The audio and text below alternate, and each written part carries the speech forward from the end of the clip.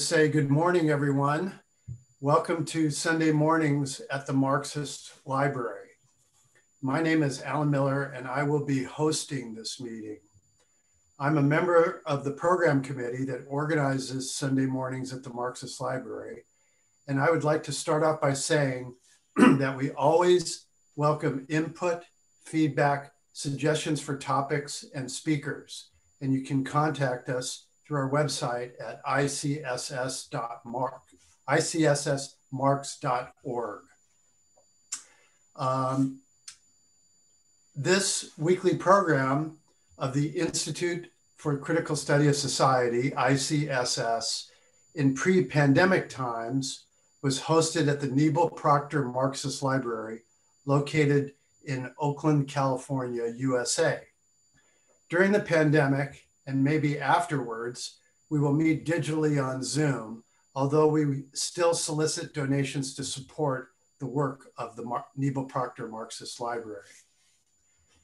In fact, I have to say good morning, good afternoon, good evening, because we now have attendees from throughout the US and even around the world. For over a decade and a half, Sundays mornings at the Marxist Library programs, we have been a platform for diverse presentations on topics ranging from political economy, capitalism, socialism, communism, imperialism, politics, militarism, war, from a working class Marxist perspective.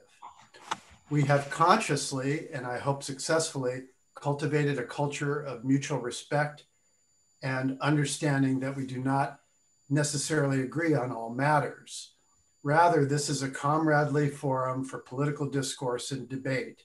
The opinions expressed here are those of the participants. They do not represent the ICSS or Marxist Library. However, we are united in our respect for the work of Karl Marx, and we believe that his work remains relevant today. Our motto is taken from Marx's 11th thesis on Feuerbach. Quote, the philosophers have only interpreted the world in various ways. The point is to change it. Our speaker today, Rajendra Sahai, is someone who lives by this thesis. He's a founding member of ICSS, an ongoing member of our program committee, and has presented in the past on topics as diverse as socialism in the USSR and political and economic develops in India. Today, he will be speaking on the logic of capitalist production and Marx's ecology. A quick note before we begin on how the session will be conducted. Our speaker will have one hour for his presentation, during which time attendees will all be muted. If you need anything, you can always communicate with everyone or anyone using Zoom chat, which you can open by clicking on the chat icon at the bottom of your Zoom window. After the presentation, we'll have a short break for announcements, followed by an hour of question and answers moderated by myself. If you have questions or a comment during the Q&A, raise your hand in the participants window by clicking on participants and raising your hand, clicking on that. We will call you in order. You'll have two minutes for your question or comment. Please be respectful to the group, speaker, and the moderator. Finally, at 1230, we will open up for discussion. So with that, I'll turn it over to our speaker, Raj, for today's presentation. Go ahead, Raj. Thank you, Alan. Uh, one correction, I was not the founding member. I joined pretty soon after it was founded. So that's with, with that's the only thing I will just want to correct that I was not the founding member. Um, so back to our session, I would like to share the screen here just so you can see the bullet points of my talk today. And then I'll take it off because uh, I've written it all down, so I'll be reading it uh, because the material is dense and I think will be quite controversial in this group, uh, some parts of it. And so please make notes uh, so that you can comment on it later on as I proceed. But uh, during the presentation, we'll, I'll just carry on, uh, assuming that you're taking notes or on anything that you want to disagree with. So I have six points. Introduction, the climate change created situation the world faces today. The third one is logic of capitalist production. The fourth is ecology. Fifth is growth of capital in China and ecology. Socialist vision of society and ecology is the last section with which I close. So with that, I'm going to uh, stop sharing and go to my text. So um, the introduction part. In 1922, a Soviet geologist named Alexei Pavlov pr proposed the word Anthropocene or Anthropogene as a name for the epoch since human beings evolved, some 160,000 years back.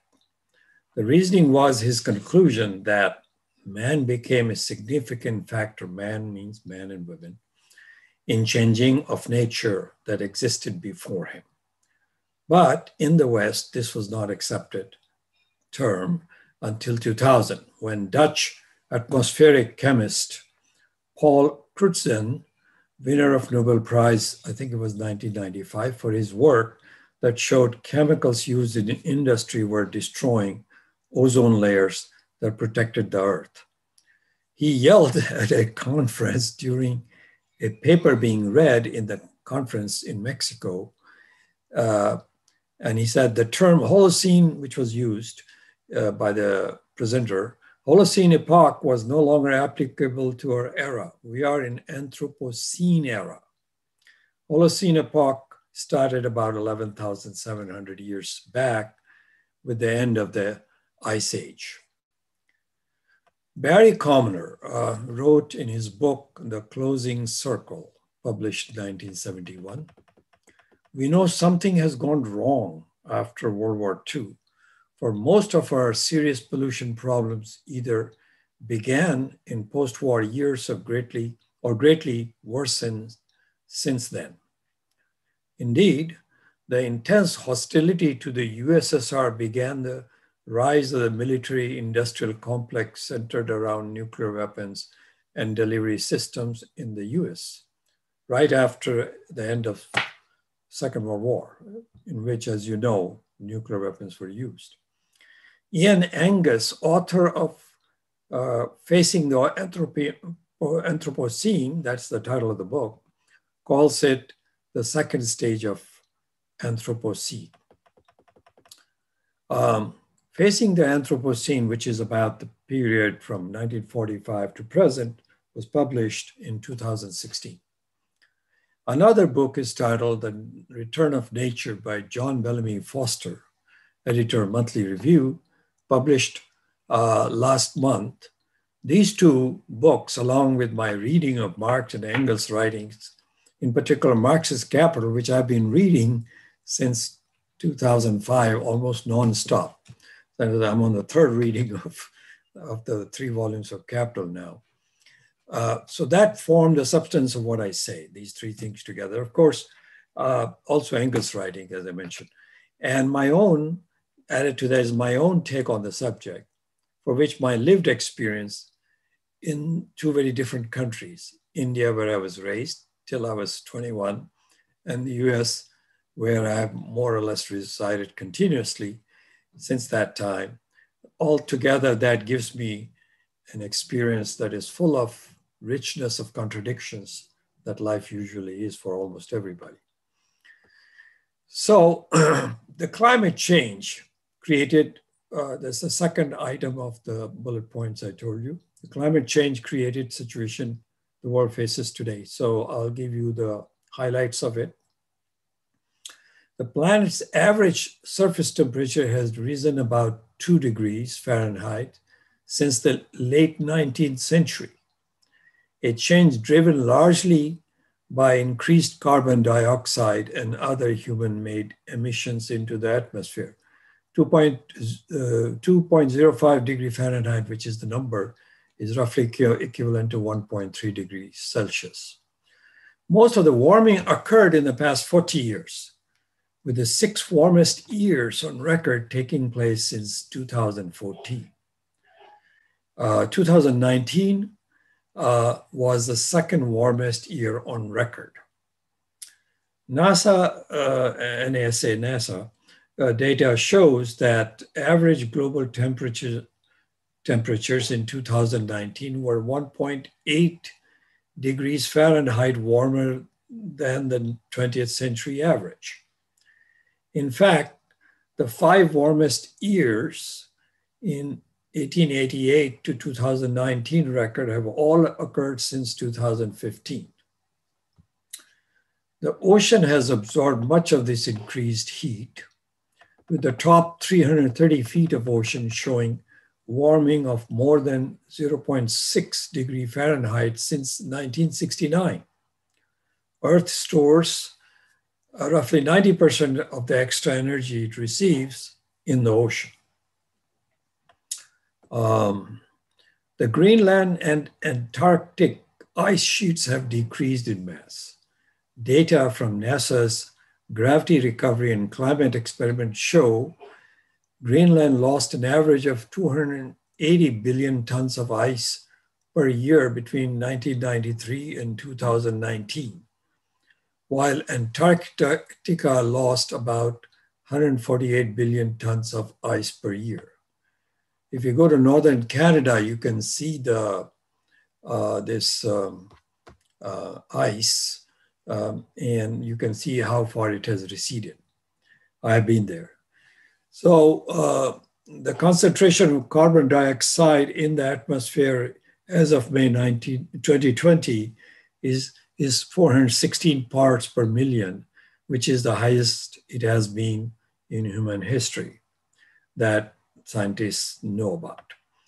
11% of the emissions of global greenhouse gas are caused by humans and are due to, de- uh, I mean, that are caused by humans are due to deforestation, comparable to the emissions from all of the passenger vehicles on the planet. And forest deforestation is caused by enormous amount of production that uses up that uh, wood. Uh, 1.4 billion heads of cattle worldwide emit methane gas, part of the greenhouse gases, which is more than 10 times what it was 200 years ago. So, you know, this farming, organized farming, etc., that has developed basically in the last 150 years. The species that are going extinct every year are 10,000 fold more than in pre-industrial period.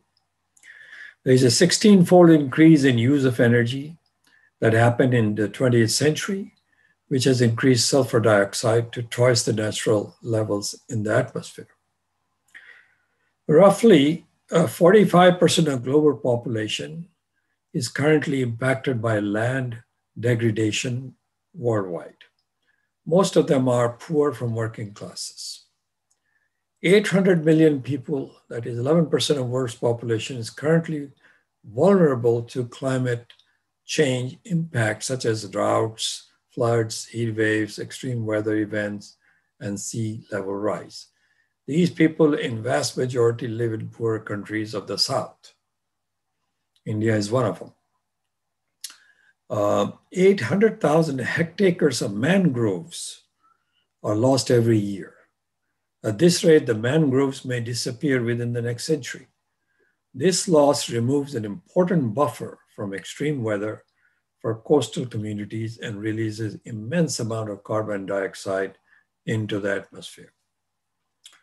And as we know, those of us who live in, in the state of California, wildfires have grown more intense.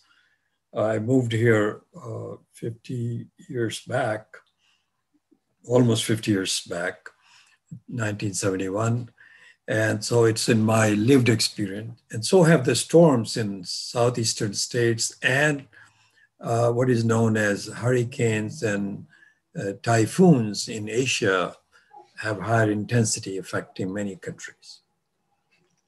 So the third uh, bullet point of my talk is the logic of capitalist production because ecology and capitalist production, the degradation of ecology and capitalist production are interlinked.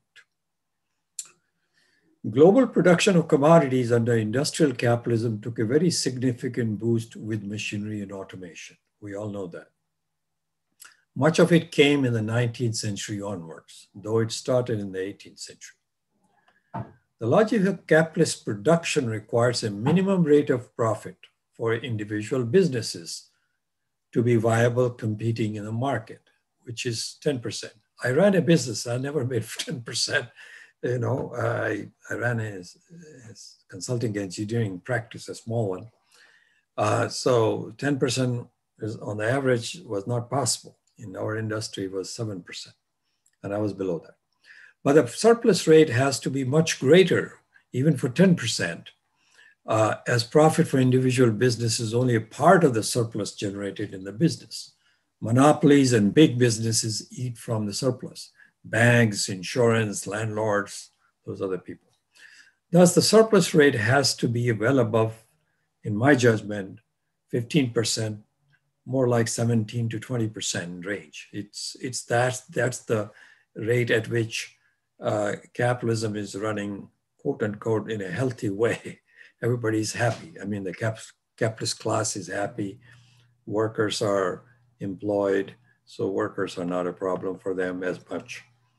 So, um, but that's that's what you need to make about uh, seven, seven or eight percent more than the minimum ten percent that an individual business needs.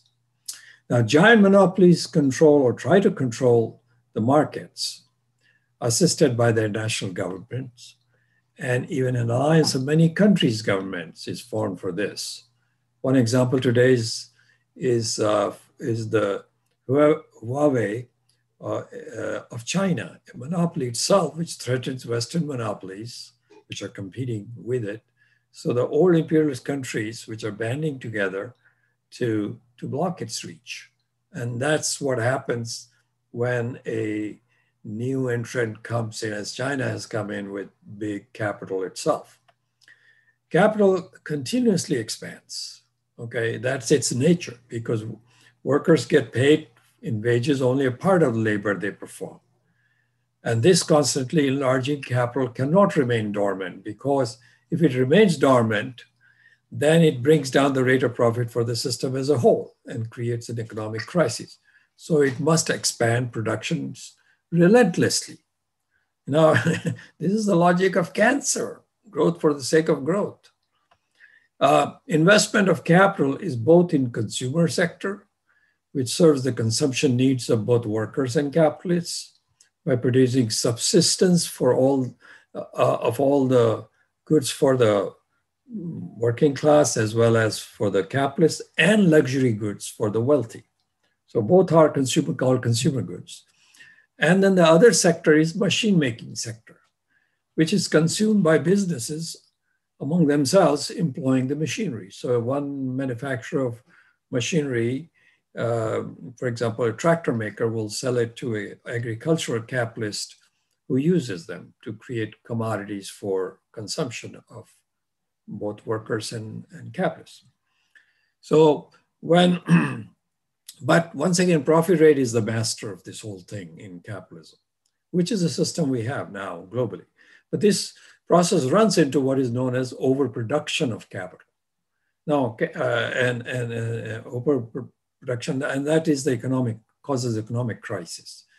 So now, uh, most of us who have read Capital, many of us in this group, uh, know that capital exists in three forms: money in the bank as capital, and uh, also in the shop where the production is taking place, that are called production capital, and then as commodities called circle in the circulation. So there are three forms, and when whenever uh, the stagnation comes, it affects all three. Now, our workers' money in the bank is not capital for the worker, but it is for those who use it as capital. Money stagnates in financial institutions and commodities in this scenario. Sales stagnates, production stalls. That is why there are periodic recessions, and when exceptionally large and longer term, these are called depressions, like the ones in 1930s. The one 2008 and 9 was not called depression because it didn't last from a capitalist viewpoint long enough, from workers' viewpoint, uh, it is still going on. So maybe it, that's why they call it the K, K type recovery. Recovery for the upper half, uh, the upper section, it's not half, it's only about a quarter of the people who, for whom the recovery happened, and two thirds didn't have the recovery, and the bottom half really actually really stagnated. To restore the economic system, capital gets destroyed periodically by peaceful, uh, what you call peaceful means, such as businesses uh, who cannot compete go bankrupt and have to sell it, its means of production for a fraction of its value. And, and, and that happens.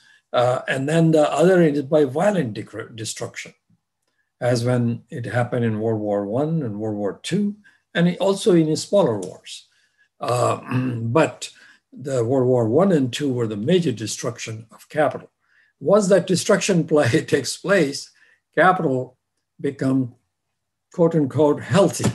It's of course not healthy for us, the people who are living under its dominance. Okay, but it can begin to get rate of return, which is what happened in 1945, because enough capital was destroyed.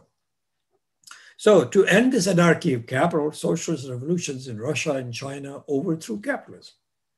But these could not be sustained in the forms consistent with the goals of socialism. So we are back in an era of capital dominance again since about 1990. We say goals of socialism means workers control production for basically they use, uh, they create use values basically for the society as a whole, not for making profit. That basically would be the way to say a goal of socialism. But now capitalism once again has been in crisis. Um, so capitalist commodity, and it has been in crisis since 1980s.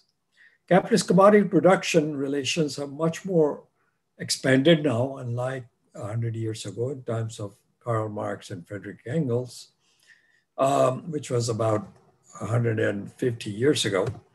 Uh, it literally covers now in almost the entire globe. If it's not 100%, it's 95 to 98%. Uh, it includes China now, you know, which is, and Russia, which is now second largest commodity producer and probably also second or first consumer of commodities in the world, probably second since the coming, we are number one. You know, United States people like to be number one. They're number one.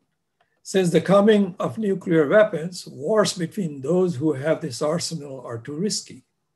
So only small countries that are in the way of access to exploit the Earth's uh, riches, which is comes in forms of uh, raw materials, or human labor. You know, uh, both of them uh, when they get in the way, that they, a powerful country will go and destroy them, capitalist country, uh, because they have superior weapons.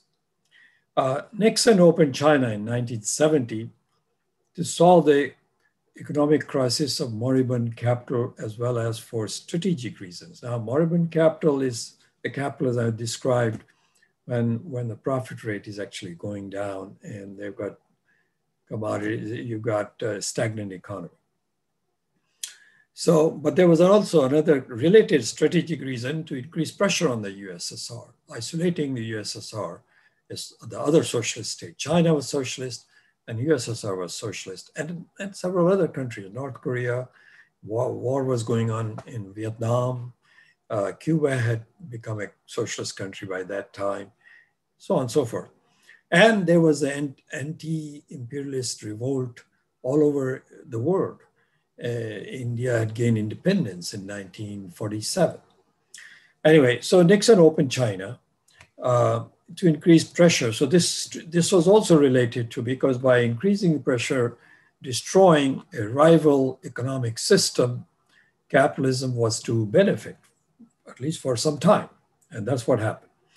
Now, What happened in Tiananmen, uh, tragic episode of June 1989, is where this crushing of the Chinese workers' revolt against capitalist opening established firm capitalism firmly in China. Okay, I know many people here will not agree with me on that. Uh, we can discuss it.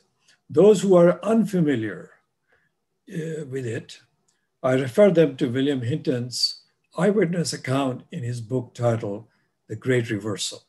The last chapter is on the so called Tiananmen confrontation. Uh, I'm not talking about the students who were bourgeois, but the workers who were uh, about 3 million workers were activated in opposition to it. They were crushed. Okay, the reversal in China, however, did not lead to capitalist controlled state.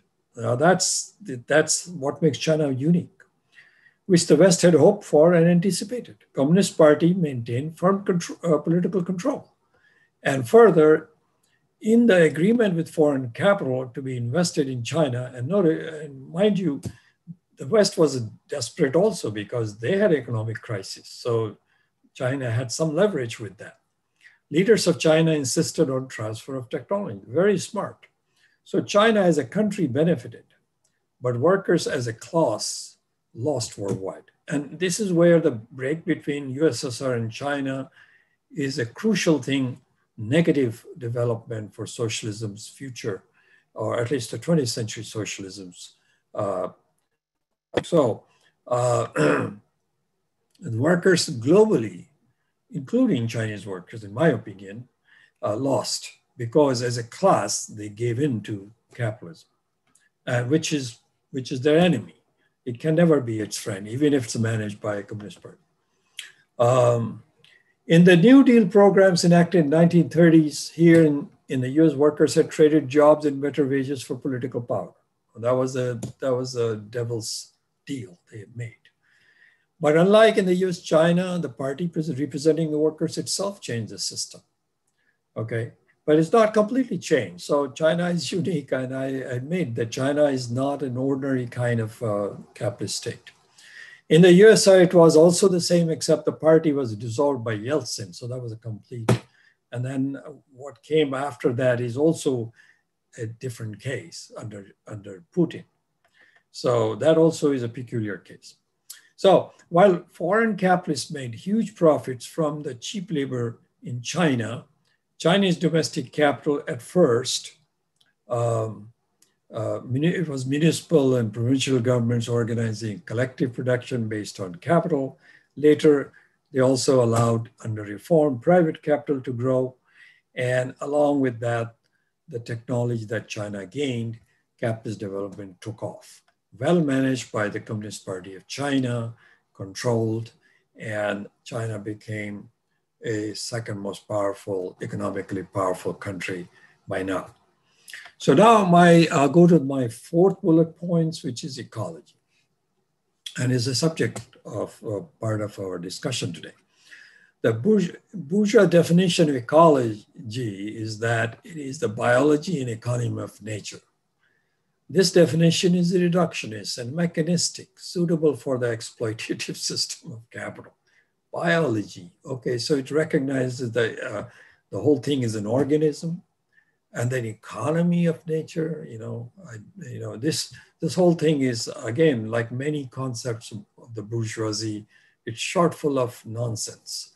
Uh, the I mean, partly true. Also, I'm not saying there's never a iota of truth the word ecology was coined in 1866 by Ernst Haeckel. He was a German philosopher and a biologist. He promoted Darwin. He was a follower of Darwin. He did significant work on species classification, but then he went further to social Darwinism. Harvard paleontologist Stephen Jay Gould, whom many of you, uh, about whose work you, many of you know, called it Haeckel's evolutionary racism. Haeckel's call uh, to the German people for racial purity and unflinching devotion to a just state, just state. And here Haeckel should get this dubious credit for this also, because he's the one who promoted the state as the civilizing agency. You know, if you read Hegel, if you read Critique of uh, uh, Hegel's Philosophy of Right by Marx, what Hegel is saying is uh, what gives us freedom is the state by, by civilizing the society. There are rules and, and that's how you become free person. Well, uh, Marxist thing for Marx and Lenin, state is an agency which works on behalf of the dominant class of society. And it's a representation of contradiction of classes. So if there are no classes, if there are only one class remaining, everybody works, you will no, no longer need the state. Okay. And in uh, pre pre uh, feudal societies, that was pretty much the same. The state didn't really exist. Haeckel's belief in that harsh, unyielding laws of evolution. So he believed in Darwin. So he believed in evolution, and but he applied. He said that this ruled human civilization and nature alike. He applied it to human civilization, conferring upon favored races the right to dominate others. Okay, now this is what gave birth to Nazism. And that's why the fascism of Germany was different. Mr. Haeckel was the chief uh, guy. The religious view of nature saw a divine entity controlling it. Now, this is a religious view of nature. Ancient philosophers of India called the entire universe a family. That was an idealist conception. Christianity placed uh, it all in God's hand. So they, they didn't even go that far. Epicurus, the Greek philosopher of around 300 BC, you know, saw nature in materialist terms, as far as we know. He's part of what is known as Greek atomists. He was the first to do so. As you probably know, Marx's doctoral thesis was a study comparing philosophy of Democritus, which is around 450 BC uh, Greece, and Epicurus, uh, 300 BC both Greek philosophers. Um, and that's where the term democracy comes from, Democritus. He was the ruler of, I think it was the king. So ecology studies interaction of species with each other and with their environment, interaction in, which one of the species is humans. And that species has the greatest impact on the environment. Okay, so this is more along materials definition of ecology under and, and, and, not a mechanistic and reductionist type. Under capitalism, this impact has become very injurious to environment from the beginning of the 19th century. That is when the industrial capitalism really took hold in England. And much more after 1945 as Anthropocene phase, you know, second phase of Anthropocene starts from 1945, according to Ian Angus. So Engels, now we're talking about Engels. Engels' introduction to the issue of ecology came from the environment of workers in English factories and their settlements. And that happened because he met Mary Burns in Manchester, where his father's firm, along with his partners, was located. And with Mary Burns, he met both were about the same age. She was a one year old, younger to him, uh, one or two years, uh, whom he met and they fell in love. And this is a beautiful thing about being young. You fall in love. There are all kinds of things you can go over. Of course, Engels was already uh, fighting for, for those who were poor, working people. Uh, so he, when he came to England, so that's uh, he was there for apprenticeship in his father's uh, business. It is when he wrote The Condition of the Working Class of England, which was published two years later in 1945. On wealth, I want to, because you know we've with comrades here and friends here, we have discussed what is wealth. So let me quote you from Marx, what Marx says about what is wealth. So Marx says, what is wealth? If not individuals' needs, capacities, enjoyments, and productive powers, etc produced in the course of universal exchange. All right. Sufficient leisure time is part of enjoyments of life. I think all of you will agree with me. So it is part of person's wealth, in my opinion. But capitalism robs the workers of his many needs, his powers, his capacities, and even his productive powers, and certainly most of his leisure time by making him an appendage of the uh, to the machine the embodiment, which is the embodiment of capital, Machinery is the, in the capitalist era is the embodiment of capital. Need not be in a socialist uh, era. Judging, so workers do not get wealthy under capitalism. They may have higher wage, but they don't get wealthy, but rather get rather get robbed. So judging workers' rising wages in the system of capitalism, therefore, in my opinion, is accepting the ideology of capital. We shouldn't accept it as Marxist. Another quote from Marx human sensuousness is embodied time, the existing reflection of the sensuous word, word in itself. In a human be, uh, in a human being hearing, nature hears itself. In smelling, it smells itself. In seeing, it sees itself. End of quote. So this is Marx's quotation, right, about, about nature.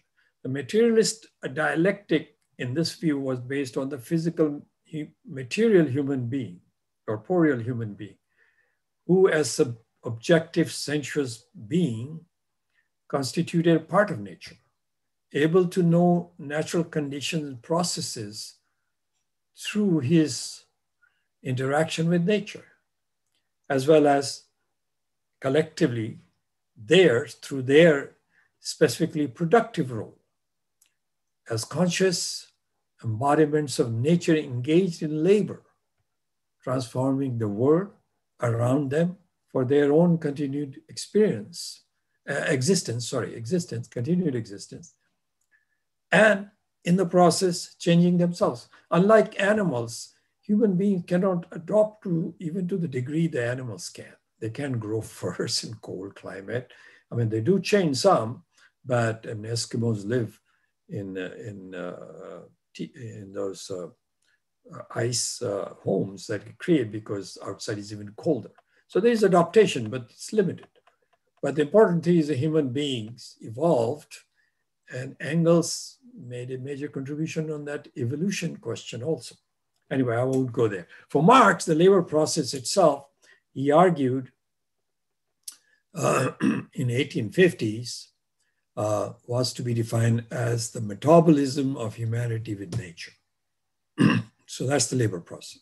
He's concerned over the robbing of the soil and the loss of soil nutrients the resulting pollution in the cities and nutritive shortages in the diets of the working population, the squandering of raw materials. Now, about diets, let me tell you, about 40% of global uh, food production is actually dumped, wasted.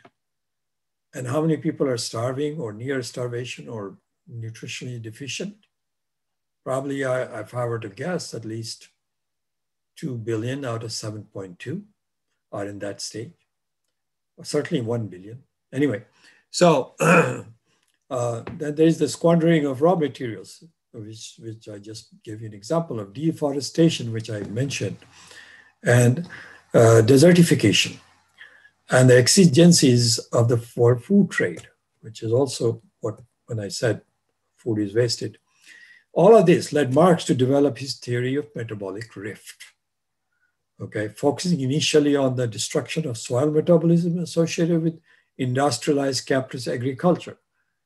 And here he was helped by Liebig's agricultural chemistry with his critique of the ecological robbery system. That's how Liebig put it. So for Engels, uh, the natural world was in a process of constant transformation, and therefore, so were our ideas of the physical world which would never achieve completeness or take final form because that would mean that evolu evolutionary change itself would have ceased. I'm quoting uh, uh, Engels. Dialectics comprehends things and their representations, ideas in their essential connection, mutual interdependence, motion, origin, and ending. Such processes, natural processes, as those mentioned above, are therefore so many corroborations of its own. That is nature's method of, of procedure. Nature is proof of dialectics, end of quote. This is all from, from uh, Engels. from his uh, Dialectics of Engels, which di- Dialectics of Nature, which he wrote but uh, but remained unpublished because he got into after Marx's sudden death in 83, 1883. He thought it was more important to publish his notes. That's volume two and three were only available in notes. So he got into that. He never completed that. Uh, but part of it appears in, in Anti-Dühring. Such processes, uh, so I, I mentioned that, sorry. When united with materialism, so this, this is dialectic, when united with materialism, because he was a materialist, such a perspective necessarily led towards an interconnected ecological worldview. So that's where the definition of ecology is different for us Marxists than that of the bourgeoisie. To quote Engels, Freeman does not consist in any dreamt of independence from natural laws. This is a quotation from Engels. And hence, uh, the conquest of nature, but in the knowledge, uh, uh, now again, the continuation of his quote, but in the knowledge of these laws and the possibility this gives of systematically making them work towards definite ends. So human beings do uh, work with nature, alter it, but they have to basically stay within, remain within the uh, nature's laws as a whole. And this is, and it was this that led to Engels' creative capitalism transgression of nature's laws and the resulting ecological destruction that follows. So epidemics and pandemics and are disharmony in nature, okay? And the relation between human beings and external nature. That this is a disharmony uh, uh, that was blindly accumulated by society in the very process of commercial accumula- accumulation, uh, generating. And I, here I'm quoting from Ray Lankester, a scientist in the early 20th century and a follower of Marx, who met Marx also, uh, called Nature's Revenges. Uh, through his greedy efforts to produce large quantities of animals and plants, and this is not individual greed, this is capitalism as a system of greed, has accumulated nat- unnatural swarms of one species in field and ranch, and unnatural crowds of his own kind in towns and fortresses. This is a quotation from Lankester. Monocultures and urban congestion associated with capitalist development created grounds for the spread of epidemics. This is, this is uh, Foster's uh, conclusion from there. So now you know that we're, one consequence of monoculture, I'll go back and we'll come back to the second example, is, uh, is the farming that produced social disharmony in, in, in mine and many of your lived experience. That was the Khalistan separatist movement in Punjab province of India during the 1980s. India was deficient in grains by 1960s due to rapid rise of population. Why did population rise rapidly? Because the Nehru government, which was the first prime minister of India, had introduced public health. My eldest brother actually worked for that public health. So I went around with him when he went from village to village using DDT because that DDT was supplied by United Nations to eliminate malaria along with the mosquitoes. And I got exposed to DDT big time. I went with him because I was curious. I was a kid. I was in, I think I was just entering college at that point. So um, uh, what happened was that this, this public health uh, at first uh, basically reduced mortality rate because now it's introduced. The British didn't have it. They had civil hospitals in major towns to take care of themselves and the elite of Indian society. Okay, the bourgeois, the rising bourgeoisie and the feudal elite. But everybody else was left to their own devices. Okay, I mean, they used old Indian Ayurveda and other things, but modern science, uh, Western science was not, medical science was not available to them through certainly no public health. Okay, uh, so so when they introduced this public health, the effect was drop in mortality rate among kids, new births.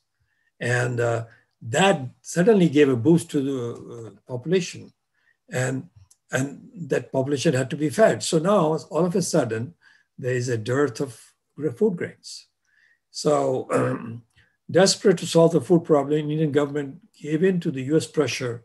Mrs. Gandhi was the prime minister after Nehru's death at that time to use the miracle seeds. Now, these were called quote unquote miracle seeds, developed in the Ford Foundation backed research that developed a high yielding wheat, which required a lot of water, chemical fertilizers, and insecticide, three things. Okay.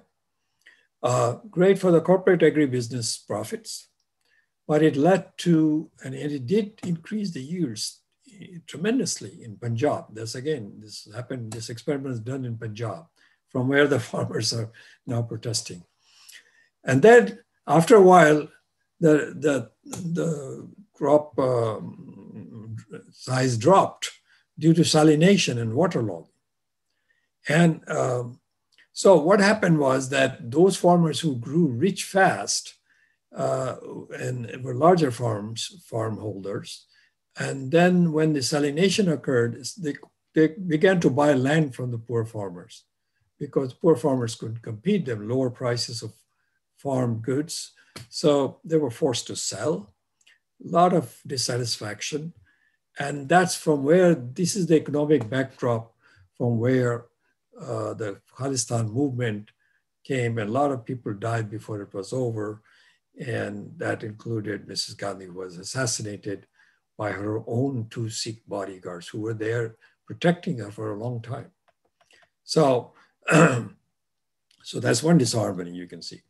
As you can see, we're also in presently experiencing one of the consequences of this big disharmony with nature in the intensifying COVID, pandemic, you know, uh, that has already taken over 1.5 million lives worldwide and uh, close to a quarter million lives in the United States alone.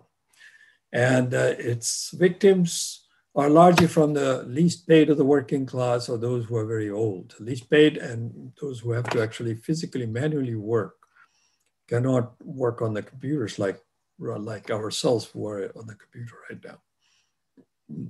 And uh, the other section, large section, almost 40% are those in the nursing homes because they cannot live at their, in their homes due to poverty. I mean, they don't have enough money to live in their own homes in old age. Who are these people? These are working people.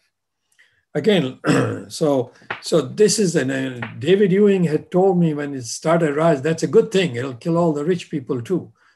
so, and now you know uh, that's not the case uh, Mr. Trump came out okay because he got the best care. Anyway, capitalism creates fear, insecurity, instability in the lives of workers. That's what it does. Robs workers of her powers, these are her powers, and among the very poor, then birth rate go up as a result. I mean, the poverty is what breeds. Poverty results in birth rate going up. That's what happened to China and India, why the population became so much larger. Then it sells them cheap commodities by extending credit, forcing them to become more and more subservient to the system. So that's what the present thing is. So there is no redemption for vast majority in the system of capitalism. Okay, neoliberalism is the current phase of capitalism associated with the term consumerism. Neoliberalism and consumerism are go hand in hand right? which began approximately 40 years back as a global phenomenon. Now, that's what distinguishes it. It's a global phenomenon. Because consumerism was here when I came here, when I came in 1966 to the United States from India, consumerism was very much a part of it. But it was much more modest than what phenomenon it is today. Capital accumulated since 1945 and World War II. As I mentioned, there was a crisis, found an outlet, and largest of this section went to China, and China became a giant workshop. We all know that.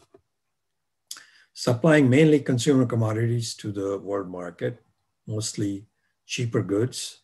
Uh, and it was cheaper than anyone else could uh, based on low wages and automated factories with little regard to pollution, heavy pollution in China. Today, we buy cheap commodities shipped from China, Vietnam, Bangladesh, etc., packaged with materials that themselves are polluting, also from India, by the way. Um, so uh, these uh, packaging material themselves are petrochemical products that are difficult for nature to degrade or at least take a long time. And these commodities have, most of these commodities have short life. Okay, so the cycle repeats itself. And that adds to the burden on the ecology of the planet. So I go to the fifth point, and I've got, uh, um, I, I think I'll make 10 minutes to finish. So 10 or 12 minutes. Growth of capital in China and ecology. So today, the working people of the world are caught in a double jeopardy. On one hand, capitalism is reducing workers' organized bargaining power by production shifted to lowest wage countries, pitting workers in one country against another. This is what started happening. Uh, and the big thing came with China in uh, 1989.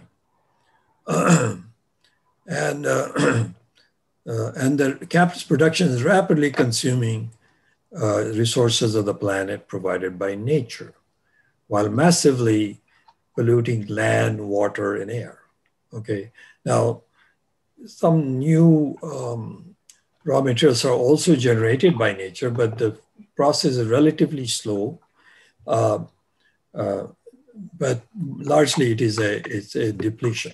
Since the fall of the USS, China has been touted as a successful, successful model of socialism by Chinese government by using the capitalist market, what is termed as market socialism. In China, the workers are subject to hukou laws, work which means they don't get benefits outside of where they are, where they're born and you know grew up. They, they go to cities, but they don't get the benefits there. Work they work average of 46 hours a week, and that's not for the all workers. The the high tech workers are working more like 70 hours a week, uh, and they work for a capitalist, generally speaking. Except that uh, since their wages are were so low to begin with, and since the production uses machinery, their wages have risen, consistently risen over time. So Chinese workers are accepting this change now, though they did not initially. As I said, Tiananmen Square was not just a student thing. So this led to at least half the workers in the US start to go downhill. Their, small uh, towns, particularly in the Midwest, uh, became uh, ghost towns in many cases. Uh, de degenerated. And, uh, and they don't have any system, uh, hope in the system. Unlike the 1930s when they saw hope after the revolution, the USSR, which is what made the capitalist class here yield to the New Deal. Okay, um, so that's that's one of the reason why uh, the U.S. workers uh, fell for an appeal from from the right wing populist Trump. Uh, a sufficient number of workers fell for that so that he was elected. And he would have been elected, but for the COVID situation, I think he would have been elect, re-elected easily. So, um, so, uh, but Biden is a new liberal centrist. We'll see what he does. Hardly any hope from him. Uh, similar thing happened in India. Majority workers followed Modi you know, the Hindu nationalist. And now he's facing workers and farmers who are challenging. Okay, in the defeat of Trump, uh, you know, the three sections, one is left that was organized by Sanders movement, another blacks led by Democratic Party black leaders, and then women uh, who were threatened by the right wing on their reproductive rights have played a role even if not organized under a communist party, to defeat the right wing populism for now. But if Biden fails to solve the problems the mass of workers facing, then return of Trump or another Trump like figure will, will happen four years from now. Okay, so I think I'm just about getting close to it, uh, finishing uh, just a little bit more.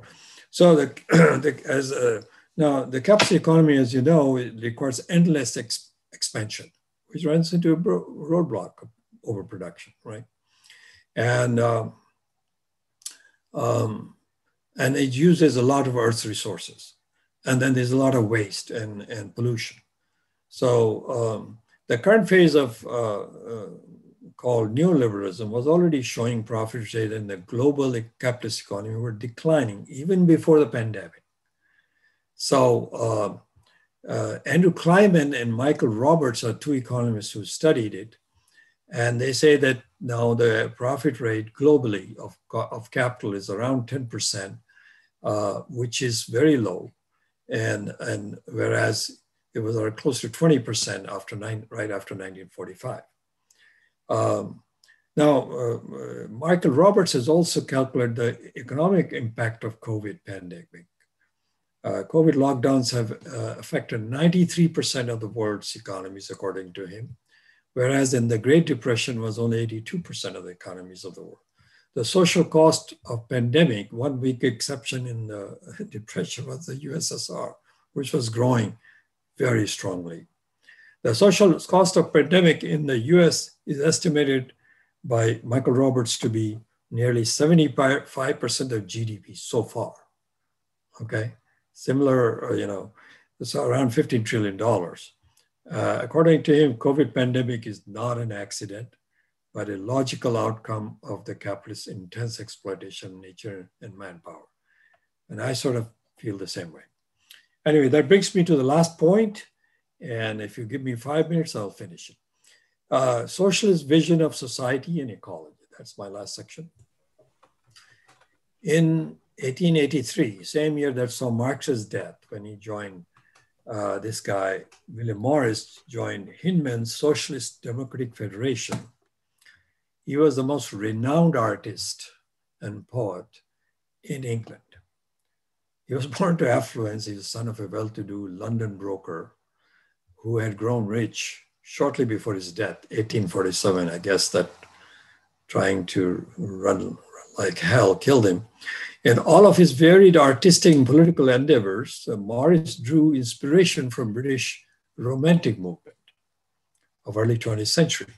Morris thought that in his time, production for genuine use value in England, he was also a Marxist, by the way follower of Marx and met Marx in his lifetime.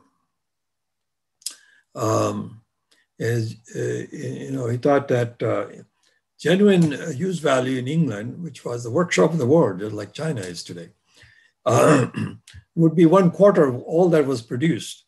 That would be sufficient. The rest was is just a waste. This is his opinion.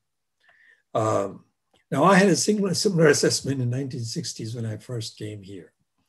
Uh, and I saw the wasteful production and consumption in the United States is really very sharp when you come from India, especially India of 1960. There's a lot of that going on in India now. Not a lot, but compared to the United States, but compared to my time. But in 2020, perhaps all the genuinely useful products uh, would probably be much less than that, uh, a quarter, or maybe uh, at the most quarter. So you know, if if you didn't produce three quarters, the impact on the environment will reduce, right? So uh, so that would begin to heal, uh, heal the rift with nature. That's one thing. But our one of my major points of this talk is uh, why I'm speaking here today is that I think we have to have vision of socialism that cannot be the same as in a capitalist society for middle layer. See, usually capitalist society has this vision that you will go into the middle class and have a middle class life, right? That's that's an American dream.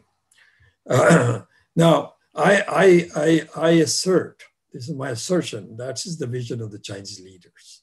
They say by their goal is to make China uh, to be a moderately wealthy society by 2050. They do not say they will make the workers of China uh, a, a, a people who are comfortable and it'll be working class. But they say, well, it's a moderate wealthy because what society they are creating is, is a class society. In fact, didn't exist uh, under Mao's China, but under Deng's China, it started.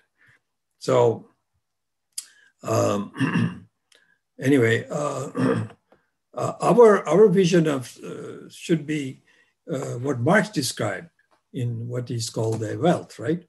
And it has to be unalienated production for genuine use values in, in society.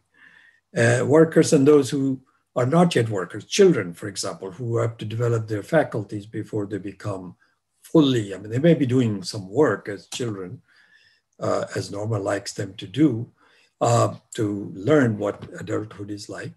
Uh, and I think that's fine. But I mean, what I'm saying is that I know people who are in old age who are limited, they can still do some work, but much of the work is done by uh, 20 to 60 age. And this was more or less the vision of Lenin and Stalin in the USSR. That's how the, the economy was set up. Unfortunately, and also Mao tried to do the same thing until 1970 when he caved in to the pressures and China changed afterwards with Deng's leadership. So uh, the last point is that I think Cuba offers us a vision of socialism that is closer to real socialism, that is sustainable in a healthy metabolic with nature. It has shown international solidarity with workers and oppressed nations, for example, Angola, Venezuela, other Latin American countries, and uh, provided health services worldwide. You know, of course, you you know, in their health services to the worldwide, Cuban doctors went to the mountains of Kashmir on Pakistan side when there was a big earthquake. And their own government didn't send anybody. It was the Cuban doctors treating people who were injured and who were suffering from disease and all that in the cold weather. And the Cuban, Cuban themselves live in a hot climate. Okay, and it came out in their paper, the most prestigious paper is Dawn. And their an article came out saying, what look at our government, look at these Cuban doctors. And, and Dawn is a bourgeois paper, okay? Uh, so now the question is until that revolution comes, what do you do in the meantime? I mean, revolution is not tomorrow, I assume. Uh, I wish it was. But uh, uh, what do you do in the meantime?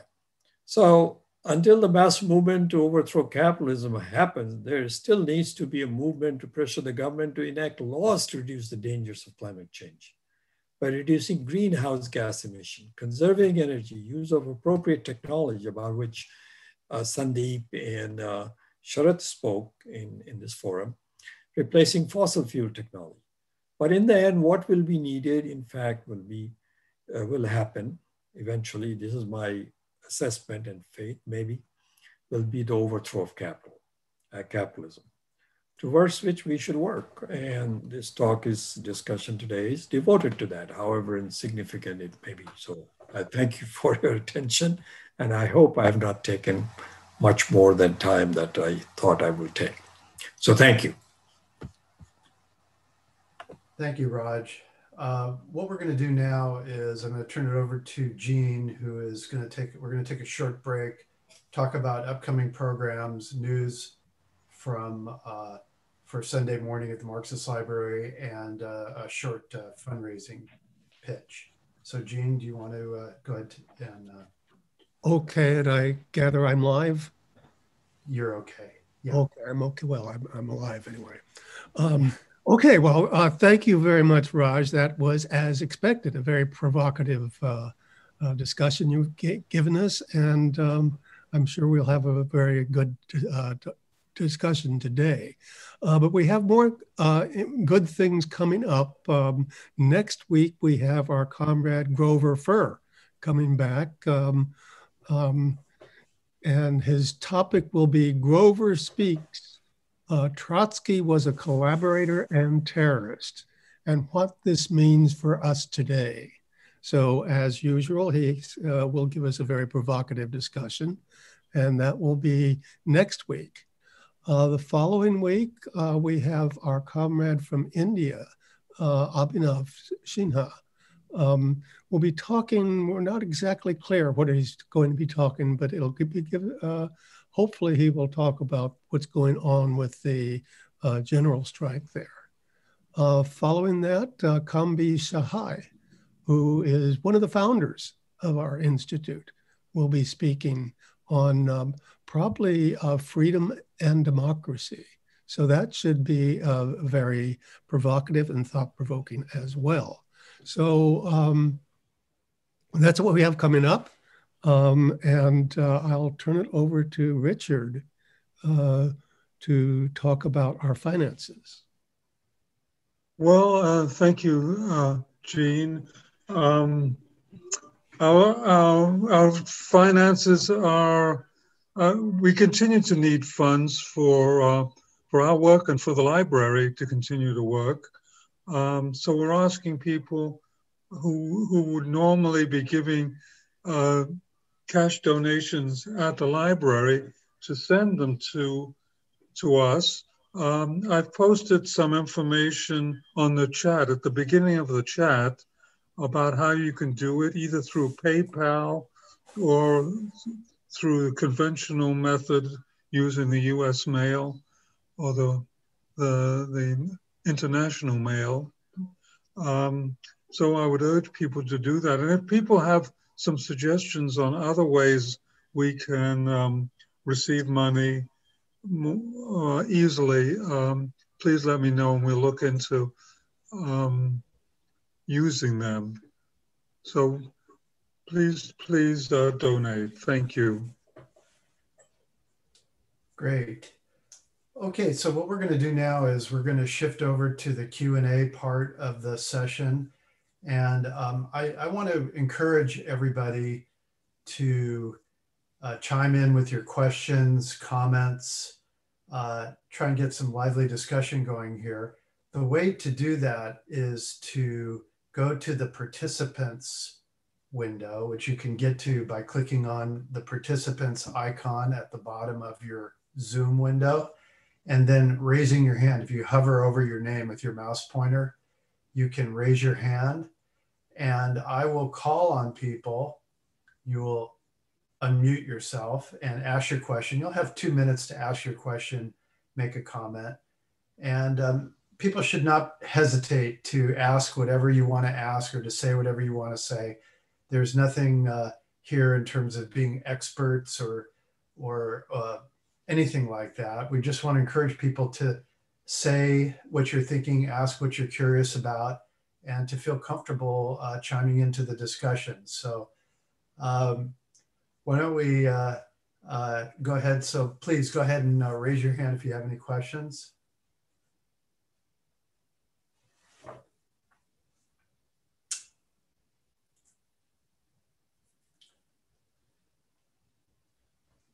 Sharon,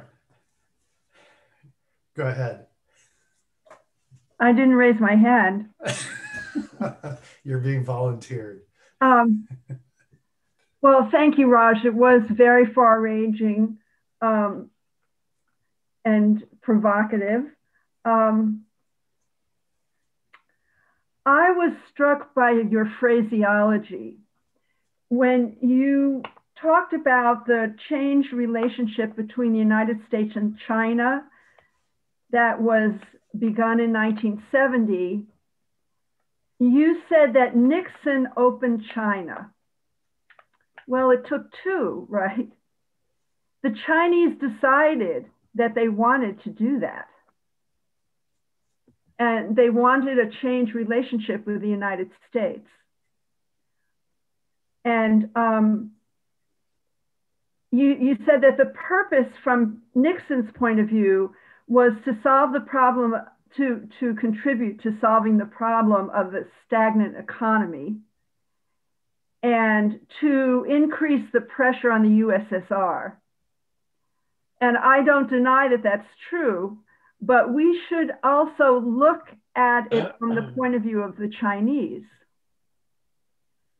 So they, and I am not an expert on this, but it's my understanding that they decided that in order to continue to pursue, pursue their goal of development of the Chinese economy, that they needed Western capital and that they need, needed um, to invite Western capital in to invest.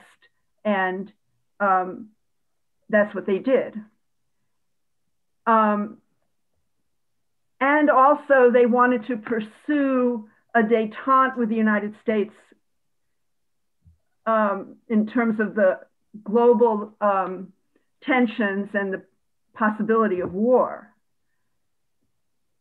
So I think we need to be clear about the different motivations and then and then look at what happened after that.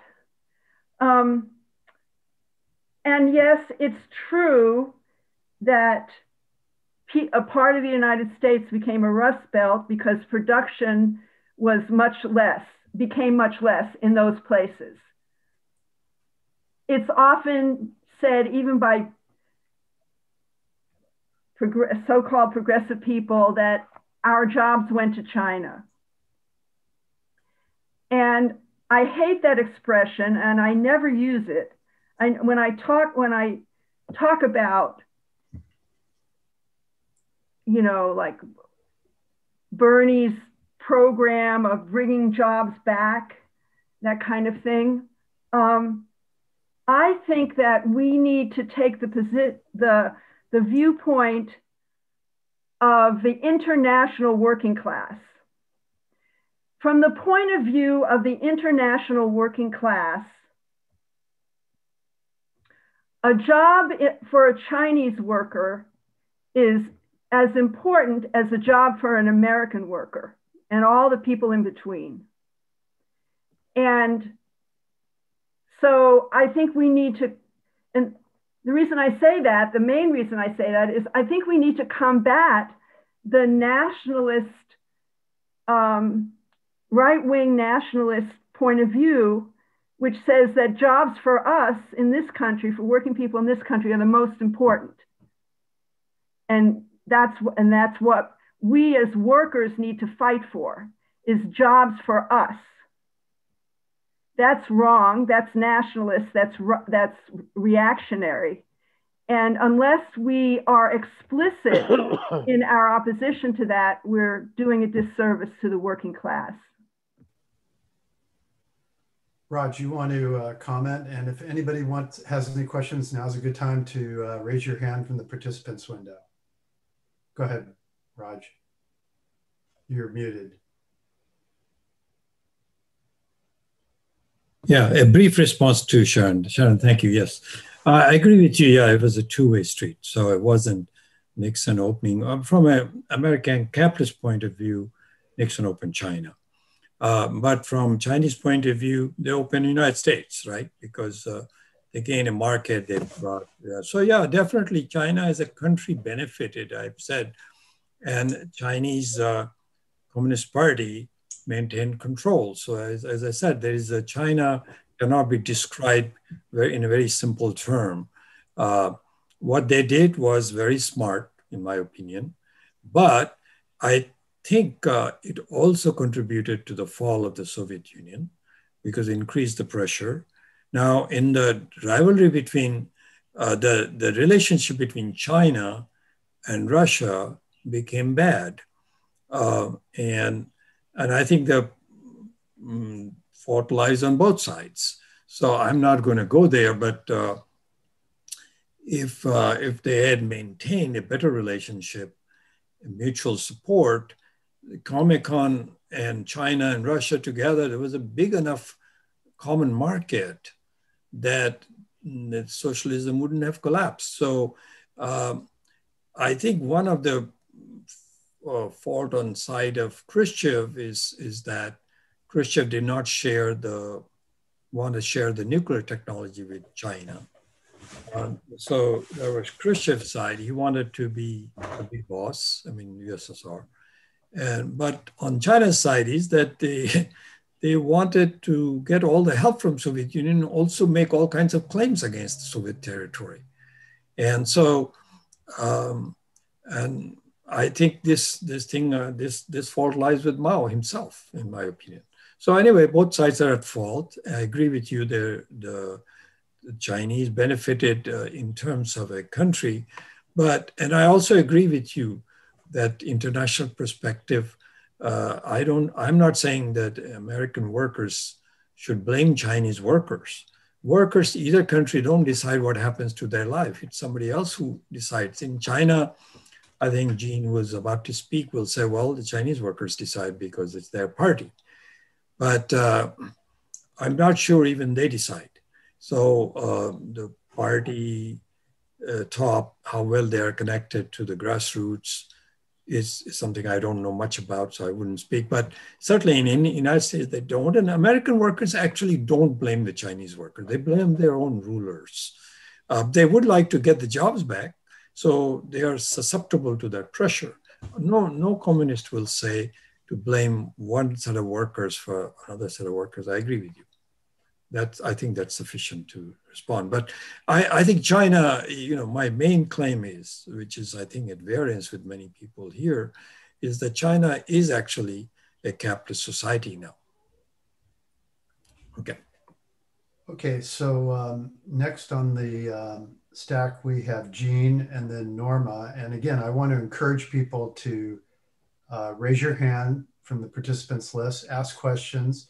I'd like to get some good questions related to the ecology part of the presentation, which was very informative. So why don't you take it, uh, Jean? Go ahead and unmute yourself. You are. Okay. Uh, I think so, yeah. Okay, well, thank you, Sharon. And I, I just want to comment a little bit more on that uh, Nixon uh, Mao uh, thing. It was actually with Joe and Enlai they met with, uh, met with Mao also. And this was back during the Maoist period. And it wasn't opening China up to inflows of capital. It was trying to reach out some kind of agreement between the two. And this was back during the days of the Sino Soviet split, the Khrushchev. Uh, Khrushchev lies were told what in 1956, weren't they?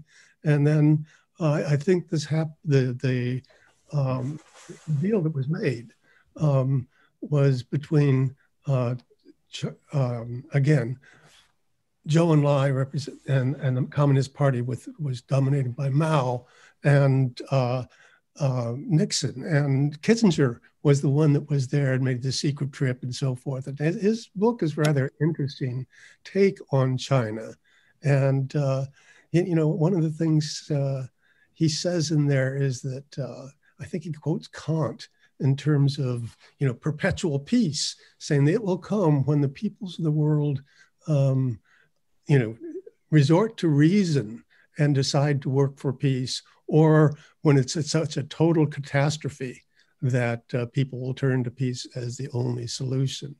And um, it's kind of interesting, I thought, uh, Kissinger's take on all that. That's Kissinger's statement you're saying? Pardon? That was Kissinger saying that? That was, a, yeah, in the final, uh, he was quoting the uh, philosopher Kant, I believe. So, oh. um, and he, he said that would be interesting, you know, if I, I, forget, you know, I forget exact terminology, but it's worth taking a look at. Um, but then, um, it, then it was only after that um, that the opening of China with the uh, trade deals and so forth took place under Deng Xiaoping. And, um, and again, um, the, the crushing of the counter revolution, um, uh, which is uh, in 18, 1989, was part of that. But again, uh, that was a later thing. And uh, I think uh, the historical development, I think, is, is important here. Two minutes. Yeah. Okay, so I would just the only answer I would give to Jean is that uh, what happened in Tiananmen was not a crushing counter-revolution, but rather uh, crushing of the last remnants of revolutionary workers, and and in order to bring capitalism to China, and and that's uh, uh I have this book uh, and I've read it. I don't know if you can see it. It's called uh, The Great Reversal It's written by William Hinton. And William Hinton was there uh, uh, 10 years. He was a consultant for grassland development, uh, and he was eyewitness to what happened. And it's uh, described in the last chapter. He has positive things also about the changes, by the way. He doesn't, uh, Hinton doesn't, about Tiananmen, he's not, he's very negative, but about the reversal thing, there are plus and minuses he's showing in the countryside. So he's not all one sided. In the end, uh, the last chapter is devoted to it. So I think, I mean, right now, I'll give you a context. There's a farmer stir going on, right? Farmers protest in India. If Modi government crushes it, and describes it as a counter revolution, will you accept it? No, I don't think so. Uh, it's a very mixed, complicated issue, but it will not be called counter revolution. Uh, and so was uh, it was not in, in the Tiananmen by the workers. Now there, there are two sections: workers versus students. The student section was inspired by bourgeois thought, but the workers were mobilized because they saw uh, the state lifting all the uh, guarantees of, of jobs and things and going towards neoliberalism, which is what they did. Okay, next up is uh, Norma, followed by Richard uh, Fallenbaum. And again, if you have any questions, comments, go ahead and uh, raise your hand in the participants list. So Norma, go ahead. Um, use of the word workers, the way we have been using it for the past decades, is dehumanizing. Uh, it, you understand what I mean. I don't have to elaborate that. Yes, you do. There's. I heard. Uh, I heard this from you many times. Yes. Yeah. Yeah. Yes. Um, there was a time when people who worked people who grew food and built houses and uh, so forth, whatever they needed, whatever people needed to do and were able to do, and whatever social structure they lived, were not workers per se. They were just people doing those things, shoemakers, so forth. And they became workers in a structure that has tended further and further into this categorizing of people by the contents uh, outside them. The people did not opt for those classifications. Uh, for example, the way that uh, people of certain ages are put into groups because they are certain ages rather than that they're human beings doing a couple of things or doing something. So uh, the idea, what goes along with being a worker is that we have to insist that while we are required to demand jobs, it's because that's the only option for the, the 99% of us to be able to create survival for ourselves. A job is the relation between labor and capital. It is not the desired end of our lives or of our next 10 years.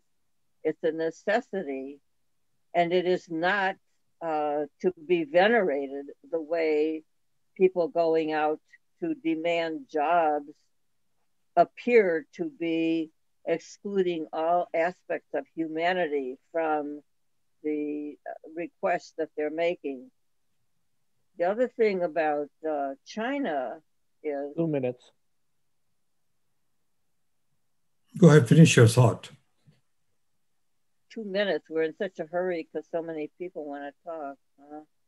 Uh, um, that what is taught in the schools do you think that they learn all those things that we don't learn here in the United States about the social structure and uh, that there is an, a, a communist objective to China, so forth? So they're learning different things in school, the opposite in, in school from what people who are driven into having to take lessons from the capitalist approach to some, uh, you know, for competition. Uh, the Chinese, we know, have learned other than competition in the school, uh, which is essential to capitalism. So uh, I, I agree with Gina, I think, has often said uh, that any place, he hasn't said it in these words, uh, but he's told it to me to where I say it uh, that people like those in China, like even the leftovers struggle in, in Russia, so forth, North Korea, people are struggling to build communism and that that makes them communists. Raj, you want to go ahead and comment? Um, I, I, you know, I don't agree with the last statement, but I generally, actually, my personal, uh, just Norma, you were saying, I reflected on my childhood. I, I, I my father believed that you only need, need to learn two things uh, in life, rest you pick up. One is, is mathematics, the other is English language, because in, in English to him was very important. And Hindi, my mother tongue was spoken, so I will pick it up. So I was deficient in schools when I went to sixth grade in all that. But my benefit, benefit was uh, that, uh, like you say, I wasn't socialized into the slavery system. So part of my rebelliousness about the system is coming from the fact I didn't go. So I, I mean, I can relate to what you're saying. Yeah, I, am not advocating for to put people, uh, children into you know slave labor eight hours a day or anything like that. I'm advocating for age integration, where people live and do things together. It's a very complex uh, objective, very difficult to sort out. I've been trying to say, oh, it has to be this or that, and I can't. But I do know that that overall idea instead of forcing children, somebody called it compulsory public education, you know. Uh, and we don't want that. We want people to be taking care of things together.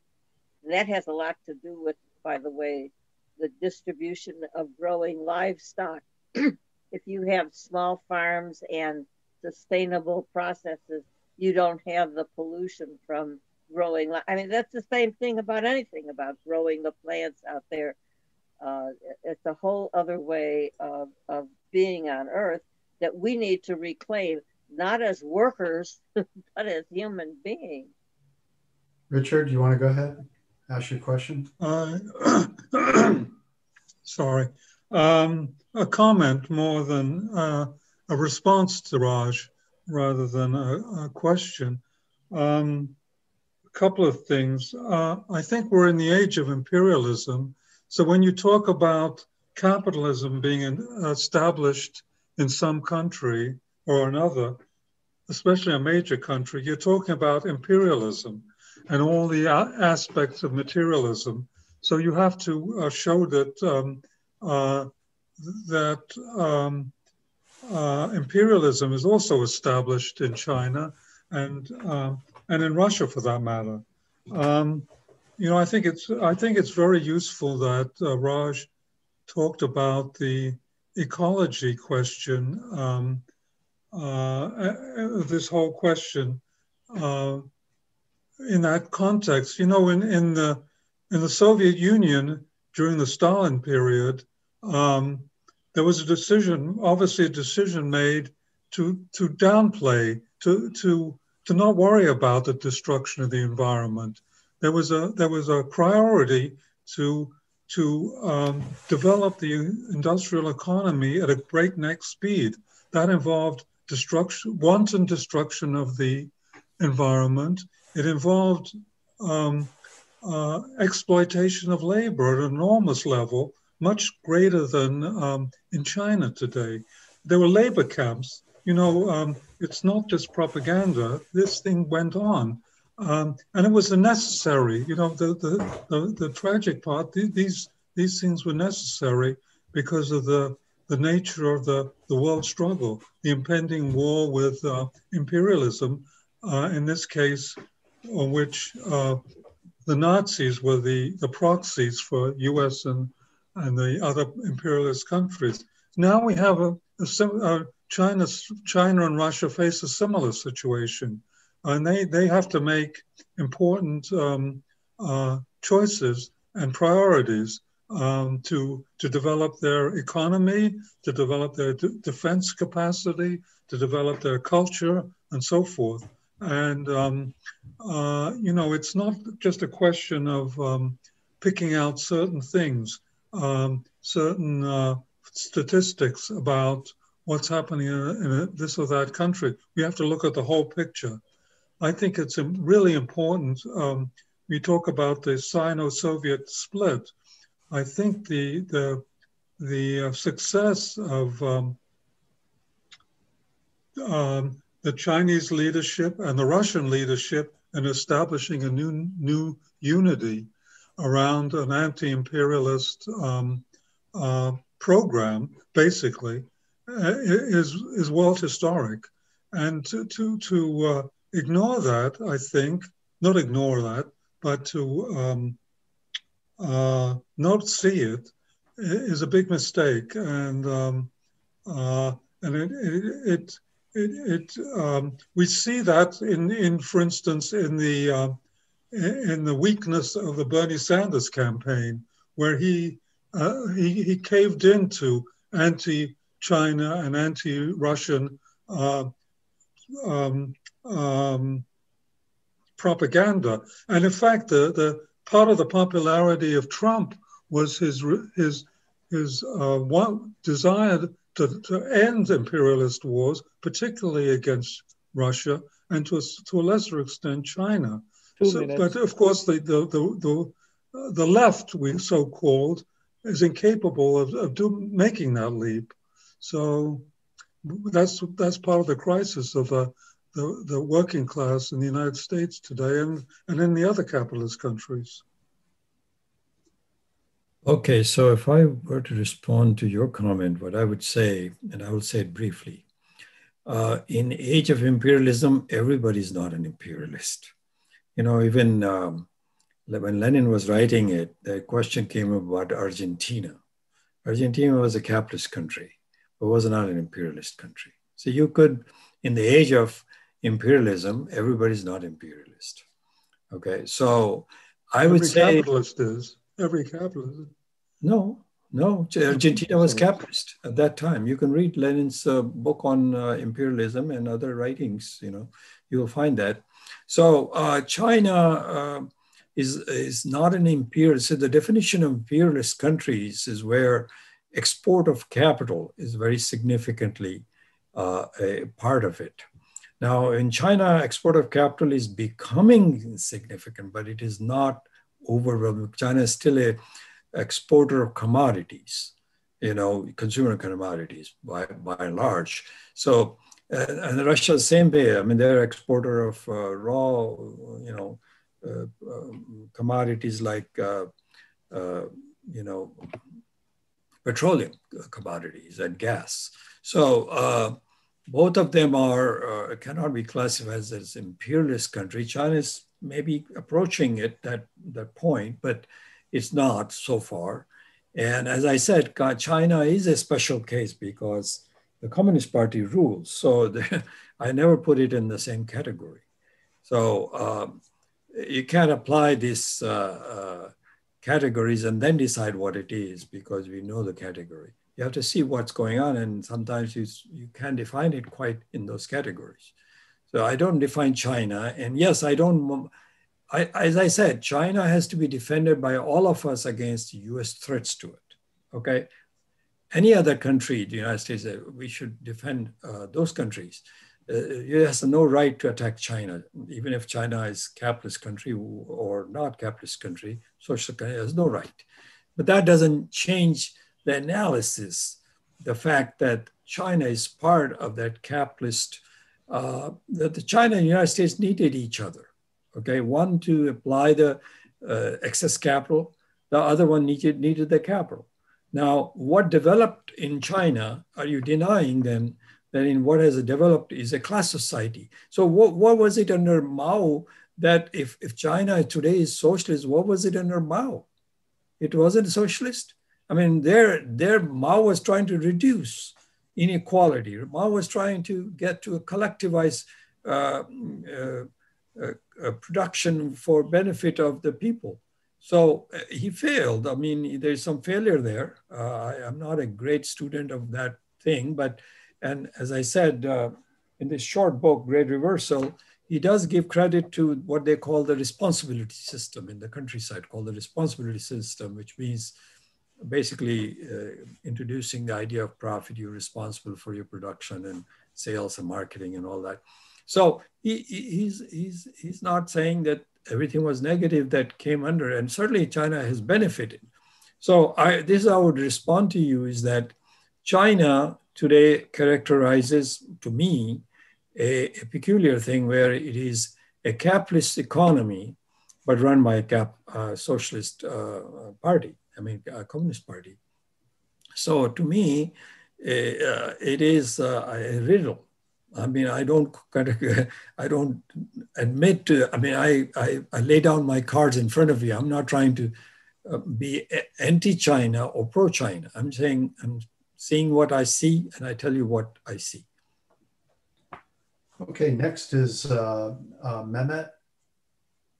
Uh, okay. And if you have any questions, everybody raise your hand um, uh, from the participants window, comments or questions. Go ahead, Mehmet. Uh, thank you, Raj, for a great presentation.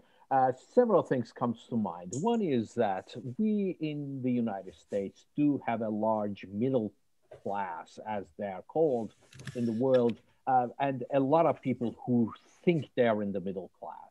So uh, if the, if we are pushing for socialist uh, way of life, socialism, and you mentioned and criticized rightfully that China is trying to create that middle class by capitalism.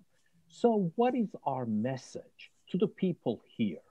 Uh, and how are we going to distinguish ourselves from the capitalist propaganda that comes uh, to them saying that uh, Bernie Sanders and the rest uh, of the socialists are going to uh, make you poorer. You're going to give your house, you're going to give up your car, you're going to live a miserable life.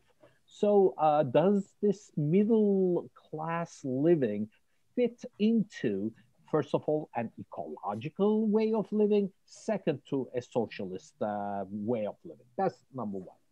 Second thing is uh, the new Green New Deal. Uh, if you can please uh, go into that one, even if it's at a very high level, on uh, what it means and does it uh, does it contribute to anything to uh, either the ecology or to the socialist movement? Third, and the last point is that in China, you mentioned that you are not against China. That's fine, and that you are for you know pro protecting it if uh, you know being attacked by the imperials, which uh, they are under attack. But it still doesn't uh, uh, resolve the issue of the contradiction between the workers, the workers' movement, and the Chinese uh, uh, government, or let's say the Chinese system. What what happens is that, like in today in Namibia and in other places where Chinese government supported capital is exploiting the workers in Africa or other other uh, investments or forget about the Africa or other places inside China there are contradictions between the workers and the uh, Chinese government and its support of the millionaires the billionaires who exploit them. And it's very interesting that if we were to support the workers and their movements, if you look at the right wing imperialist, uh, Free Radio Asia, CIA, NED uh, monies, they are all going uh, uh, uh, behind the veil of workers' rights and workers' conditions in China, slave labor in China, so on and so forth. So it's a very, very thin road to follow. And I'm really at a loss on how to defend the workers against Chinese uh, system, let me say, uh, and not to fall uh, supporting the imperialists who are pretending to um, care for the workers. So, uh, if you can please go into these. Thanks so much. Sure, I can answer your tough questions, but um, the I mean about the propaganda thing. I mean, what uh, U.S uh, and system has a huge propaganda arm, right? So uh, they take anything and blow it up. I mean, that's how the whole election system works. Suddenly, Biden, who was for, uh, you know, against the working people, now suddenly he's the protector and everybody's buying into his goodness. So this is a difficulty of our age where uh, those of us, we are, first of all, very insignificant the left is very, very small, insignificant numbers, not insignificant in the power of their ideas and what uh, they can do to influence people. Uh, because when the time comes, that'll becomes very important. So in uh, you know Chinese capital is exploiting. I mean, it cannot but do that if if you're going to abide by the rules of capital. And so that's why socialist economics is different. I mean, Soviet economics was different. Even under Khrushchev, it was different. Okay, so uh, that had that system had to be demolished. In China, it's a transition, and uh, they have successfully transitioned it. And I don't know how workers feel in China, but I doubt anybody who consistently this is consistent. They're working 46 hours a week has much time left to themselves. And, and uh, how could it not be a feeling that somebody is really benefiting on my behalf and it's not me. I mean, I may be making a better living. Um, uh, I mean, that's how a lot of American workers also feel, but they think that there's no other choice um, until things got so bad for half the people they they backed a, a populist like Trump. So about propaganda, I can't answer, but you know, we have to stand for what is what is our objective we are very small and even if we lose our objective mix it up with the uh, with capitalist objectives and capitalist definition of what is wealth and what is uh, what is our goal uh, then uh, what hope is there for us to make any kind of impact? So that's first thing is that you have to be honest and say look this isn't uh, this is not the standard living. I mean you saw the picture uh, the same I saw, many other people saw, miles long line, wait, people waiting in their cars, some in their SUVs in, in Texas for free food that was being given out. Now, some of them were certainly capable of buying that food, but the fact that you own an automobile no longer is a sign of well-to-do men in America. You know, it's uh, the first thing I've seen these uh, people from uh, Nepal come and do here, young men from Nepal who come here, young men and women. Uh, and Nepal is certainly even poorer than India. And Nepal, and the first thing they do is go buy a new, uh, new car because uh, credit gives them. And then they work like hell, 16 hours a day, paying for it, Uber driving or something like that. And then they're doing also their education. So that's, you know, the poverty cannot be judged by the same appearance we used to judge. The nature of poverty has changed. So Texas people standing in the line. So in China, I mean, the thing is, I fully sympathize with China. It's stuck when you're imperialists. What they do is they exclude you from the economic system. That's their power. If they cannot crush you, uh, militarily because that will be too difficult after, after, Vietnam War. They've learned somewhat. So they attack very, very uh, defenseless countries. But if you can't attack, they try to also weaken you by economic embargo. And so it's a tough fight. I agree with you. And if China took a path towards this direction, I don't blame them in the sense that every country has a right to develop the way they want to. All I'm saying is from a class point of view, uh, that's not the direction if you are struggling for socialism. And China is becoming actually a, a, on the verge of becoming an imperialist country. Now, Russia, I don't think is an imperialist country because its investments of capital outside is almost very small, it's very tiny. So it's basically, that's how I define it. Uh, Russia probably has less export of capital than does India. So uh, China is very big in, I mean, it's the, uh, I think is the second single biggest investor of capital outside of its, its own land. And that, that capital is not invested like Soviet help to third world, which was not for profit. That was for, uh, for influence against and fight against imperialism. So I, I, I, think some of the points you're making, I'm not able to respond, but but that's about all I can say in response to your amendment. Okay, next up is uh, Susan and Michael. So if you want to go ahead and unmute and ask your question. Hello, everyone. This is Susan. Uh, thank, thank you, Raj, a lot. Um, in the 1980s, there were a, no, a number of uh, people on the left and groups on the left that described the Soviet Union as state capitalism. I have not noticed you using that term. Could you talk about that?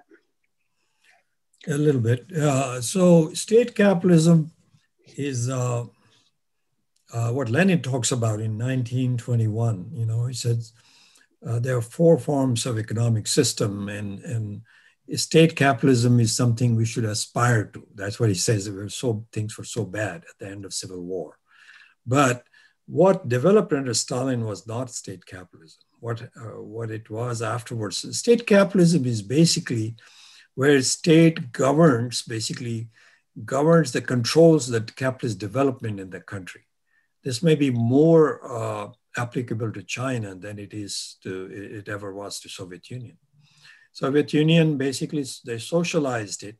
There was some uh, semi-private uh, production going on in uh, collective farms. You know, one type of collective farms were like that. There were state farms, and there are two other kinds of collective farms. One in which everything was shared, including winter coats, but not women. There, that was an thing.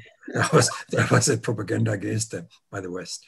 The and and chickens and you know uh, whatever they grew in their plot was also shared. The other one was where you kept your coat and your boots and your chickens were yours, and, and and then you only the production for market or what the state took from you in return for support was there, but they controlled it very strongly. And I think that similar claim is also made on China. I think Jean has made that claim that 90% of the profit is taken out of these private things. So they're not very powerful. Politically, they're insignificant. Now, I, I don't know that for sure, but, but on the whole, the state capitalism cannot lead. Uh, I mean, it's a transitionary stage, which is what Chinese says that I think this is a transition and it may be that I will be surprised if I live long enough. I don't think I'll live to be uh, 100 years old. So well, that would be 1950, right? 30 more years. Yeah, I'll be over 100. So, I mean, they can switch and they say, well, that's it. We're done with this. Socialize everything. We're socialists now. And just like uh, we intended always, and we fooled the West. Okay. So, I mean, that could happen. But what are the chances? I mean, the thing is, if I'm a if I'm a party member and you you are uh, let's say I'm a cap, capitalist, okay, I'm, I'm I'm hiring people, and Susan, you are party member, and your son needs a better job than he's you know he's no good son. I assume I assume that's for a moment. You may have a son who's very good, but don't take it personally. So you want him to get a job you know, and I'm a, you know, Communist Party member who can get you a favored, uh, uh, you know, location for your business, branch of this thing. How, how long would it be before these two people meet and, and start doing something? I mean, do you think that is not going on in China? I mean, I, I, I, I hear there's a lot of thing going on, and Xi Jinping has heavily attacked that and successfully to a large extent uh, is what I hear. But I think once capital rises, this interpenetration of capitalist uh, ideology and capitalists with the party is inevitable. That was happening in Soviet Union, and that's what happened in Keeran Kenny's uh, book. Actually, uh, uh, and his videos actually explain the process of undoing. So that will not happen to China.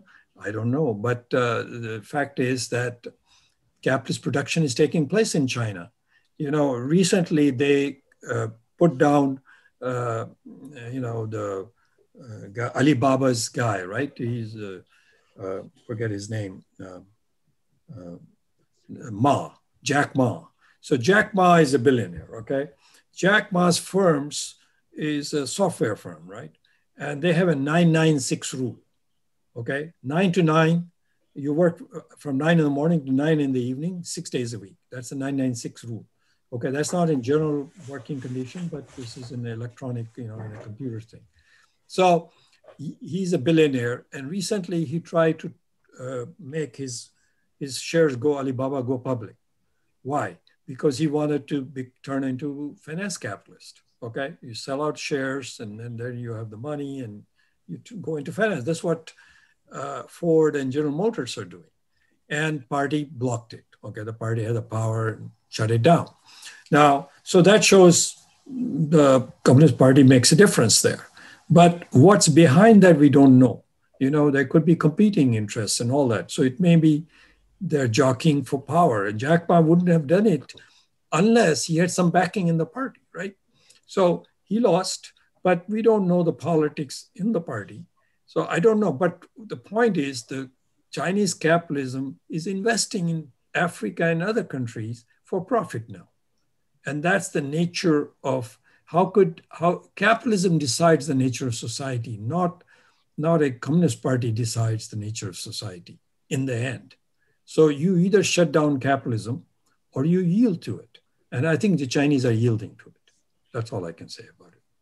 Okay, next up is uh, Sharon, followed by Jean. We only have about five more minutes, so uh, go ahead, Sharon.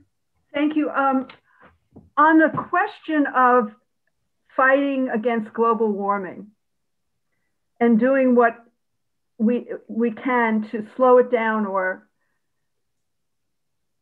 avoid the ultimate catastrophe. Um, my understanding is that the Green New Deal is based on the idea that going green, doing uh, combating climate change, can is could be very profitable for capital, which I think is probably true objectively. If they are, were to invest in um, doing away with fossil fuels, the use of fossil fuels, and all the rest, and green infrastructure and what and all the rest of the stuff that's being talked about, solar on every rooftop, they would profit a lot. And so um, it seems to me what I don't understand is why capital is not embracing that and maybe they are in some ways, or maybe they will. I don't, I don't know. But um, certainly, the Green New Deal is not a revolutionary or you know socialist thing in and of itself. Um, and that that's that's one comment I had that you might have a view on, Raj. And the other comment, the other thing I wanted to ask was, I don't understand why it is a good thing to produce electricity by burning natural gas and then turn around and say that we're going to ban natural gas in new develop uh, new buildings. So, you know, my house is heated by gas, my hot water is heated by gas, and my stove runs on gas. And I'm all of a sudden I realized that you know the city of Oakland has passed this ordinance saying no, no build new new buildings have to be all electric, but and I'm feeling guilty that I have all this gas in my house. But I, I don't understand what the difference is, you know, because they're just producing that electricity with fossil fuels. Okay. Uh, I mean, Sandeep made a presentation on, on the viability of solar power, for example, and he's here. He can answer about its viability if there's a question. But I mean, I think so. You know, the resistance to change is because uh, power of the uh, fossil fuel industry is very, very high, and the new technology capitalists are mm, coming up to that, uh, backed by the, uh, you know, uh, capitalist of uh, computer, you know, technologies. So I think in the Biden probably it'll go. And you're right. I don't think this is a class thing. So it's an environmental thing, right? In the end, I think they have to respond. They will not respond because it's a class question. They'll respond to the extent that it is a question for all classes in which, uh, so they don't want to die. The rich don't want to die. And also, and sometimes you get saved because rich don't want to die and you kind of get saved by them, but that's not their intent. They're, and in that, the struggle for profit, who makes the profit, all that will go on. About the blocking of uh, gas, I'm not an expert on that, but my guess is it's the emissions from it, just like the car. you know, electric cars, you control where the emissions are, which is with the electric uh, company and maybe at central point you can control it better. In, in any case, away from the urban center. Maybe that's the logic why electric uh, thing, and I'm sure uh, company like General Electric are very happy about it. You know, so there's all these competing interests, and uh, but I I think it's because it's become an issue, almost a moral issue now. People, uh, if you don't do it, you, are supposed to be guilty. Um, but uh, question about uh, how effective are these technologies? I myself feel a little bit guilt because I've been sitting over uh, you know panels on my roof issue uh, for years, and I, I, haven't gotten over it because I keep saying, okay, how much is uh, is it actually going to save, and is it uh, a solution? Uh, so I think Sandeep can answer more about the efficiency and solution on on these technologies uh, if he cares to answer that. But I'm I, that's about all I can say. Okay, um, Jean, do you want to um, go ahead? I think that's pretty much going to be our last question, and we give Raj a couple minutes to sum up because we're getting close to twelve thirty. So, Jean. Okay, I'm back on. Sorry. Um, mm-hmm. You can hear me now, right? Yeah. Yeah. No, yeah. okay. No, I did. Uh, the, the, um, on the whole que- question of China, um, you know, I, I spent a lot of last time uh, talking about China and various misconceptions. That I think a lot of those misconceptions are floating around here, and most of them I have I answered already last week at our session, so that's been recorded, and I won't go further on that. Also, just mention this book by Fan by William Hinton, Fanshen. I, I think Hinton is the wisest voice on China. I used his uh, book uh, for as a required textbook of my anthropology classes for 30 years. And I still think that that gives you better insight about why you, they, China had to have a revolution and how that revolution took place. And it was very, just recommend that very highly. So I'll stop there. But refer people back to that. I don't need to respond. So go ahead to the next person. Uh, you have actually, um, Raj. Raj, you, summarize. you go ahead.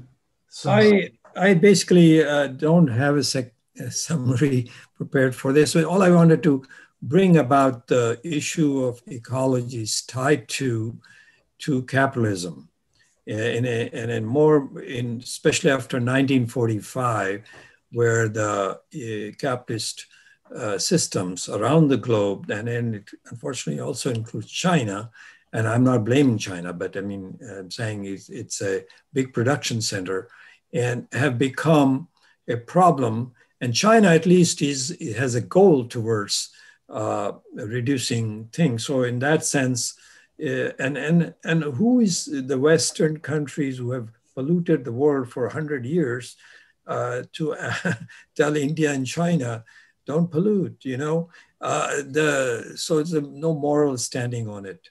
Uh, I think, however, this is a serious issue for our time. According to some scientists, we have only 10 years after which the system will become, environment system become even more destructive and unstable. We're already seeing signs of it. So I think capitalism has to be dealt with. And unfortunately, you cannot go there without uh, ecologically balanced or ecologically healthy metabolism in nature without overthrow of capital. And that's about all I want to say. Thank you very much. Okay, so thank you very much, Raj, for your presentation. Thank you, everybody. What we're going to do now is we're going to shift over to the open discussion part of our session. So everybody can uh, feel free to join in. I actually have to leave, but uh, we usually stay on until about one o'clock. But I want to thank you for your wide ranging uh, presentation. I want to thank everybody for your questions. So uh, we'll go from there. And thank you, Alan, for moderating. Thank you. And so maybe Mehmet, if you don't mind, you moderate, be the moderator for this. What's session. the difference? What's the difference if we have a moderator from what was been going on? If if needs to be, otherwise Mehmet won't intervene if it gets ugly or something. Oh boy. Okay. Well, Richard has his hand up, and I have my hand up. So yeah. So let's uh, let's start from the top then. Richard, uh, if you can please uh, go ahead. Unmute yourself, please. Richard, if you can unmute yourself. He may have stepped away. Okay, then let's go to Jean.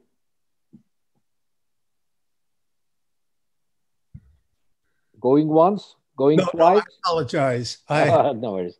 I meant to lower my hand after I talked, but I didn't. So No worries. No worries. Okay, Norma, it's your turn. Yeah. Um, one of the things uh, I think it was Raj said something about what learning needs to be done. We learn all our lives. We have to stop discrediting this kind of behavior. Human beings learn, we teach each other, we learn together from the time, actually from a few months, we, you know, from a few weeks before we come out of the womb. We're learning and it goes on. It has to be respected. It is disdained. We have to have had education with degree papers saying we got through kindergarten, we got through eighth grade, which is nonsense.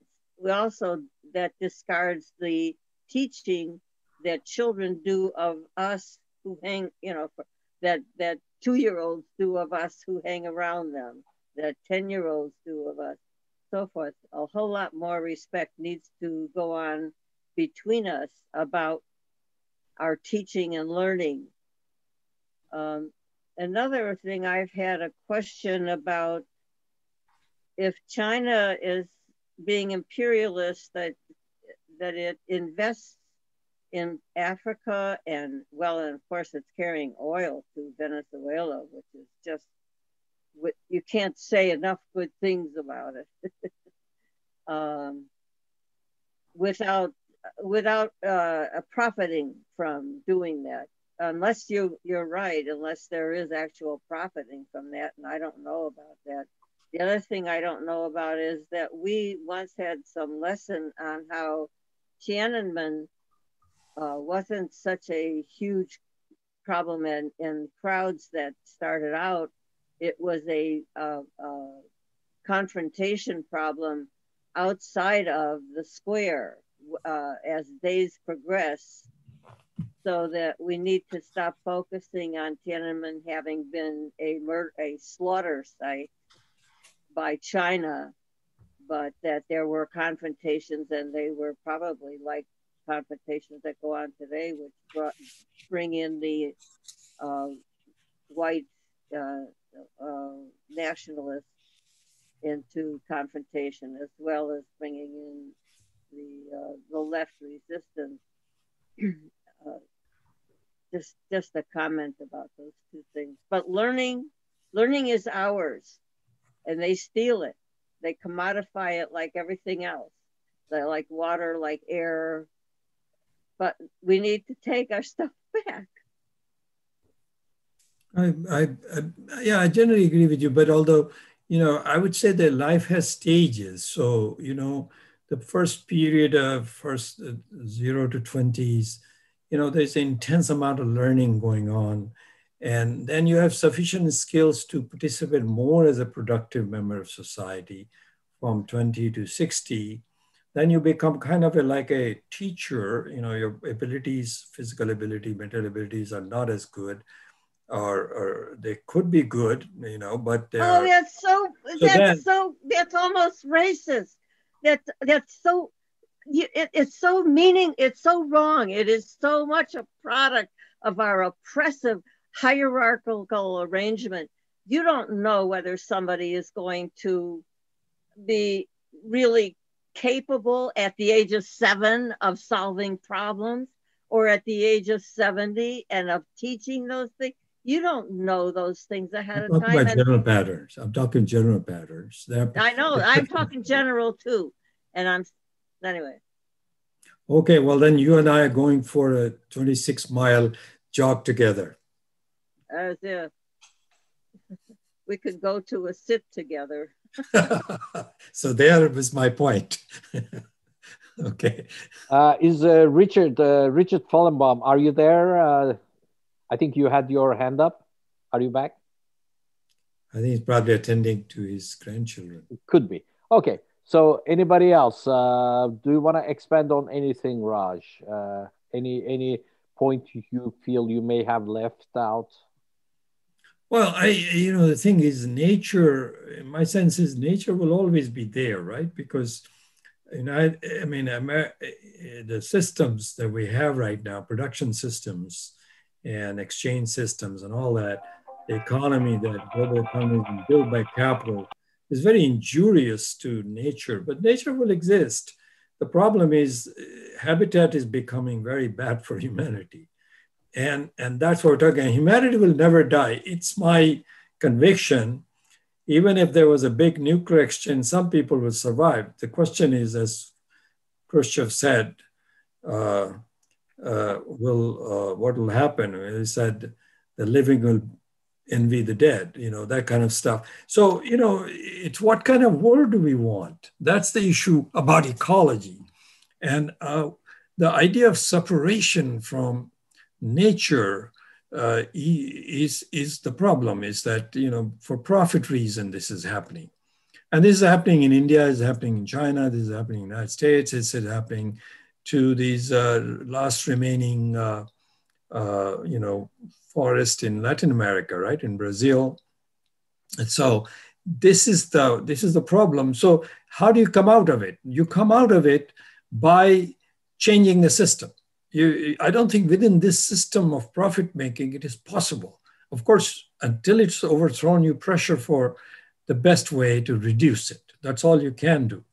You know, and China, for example, by 2060, they said they'll be carbon neutral. But then some Bernie Sanders was saying, based on some scientific thing, that all we got is 10 years, right? I don't know who's right. So if they're going to be carbon neutral in, in uh, 2060 China, which is actually uh, is actually a leadership role they're taking on environment. So that's deficient by this standard.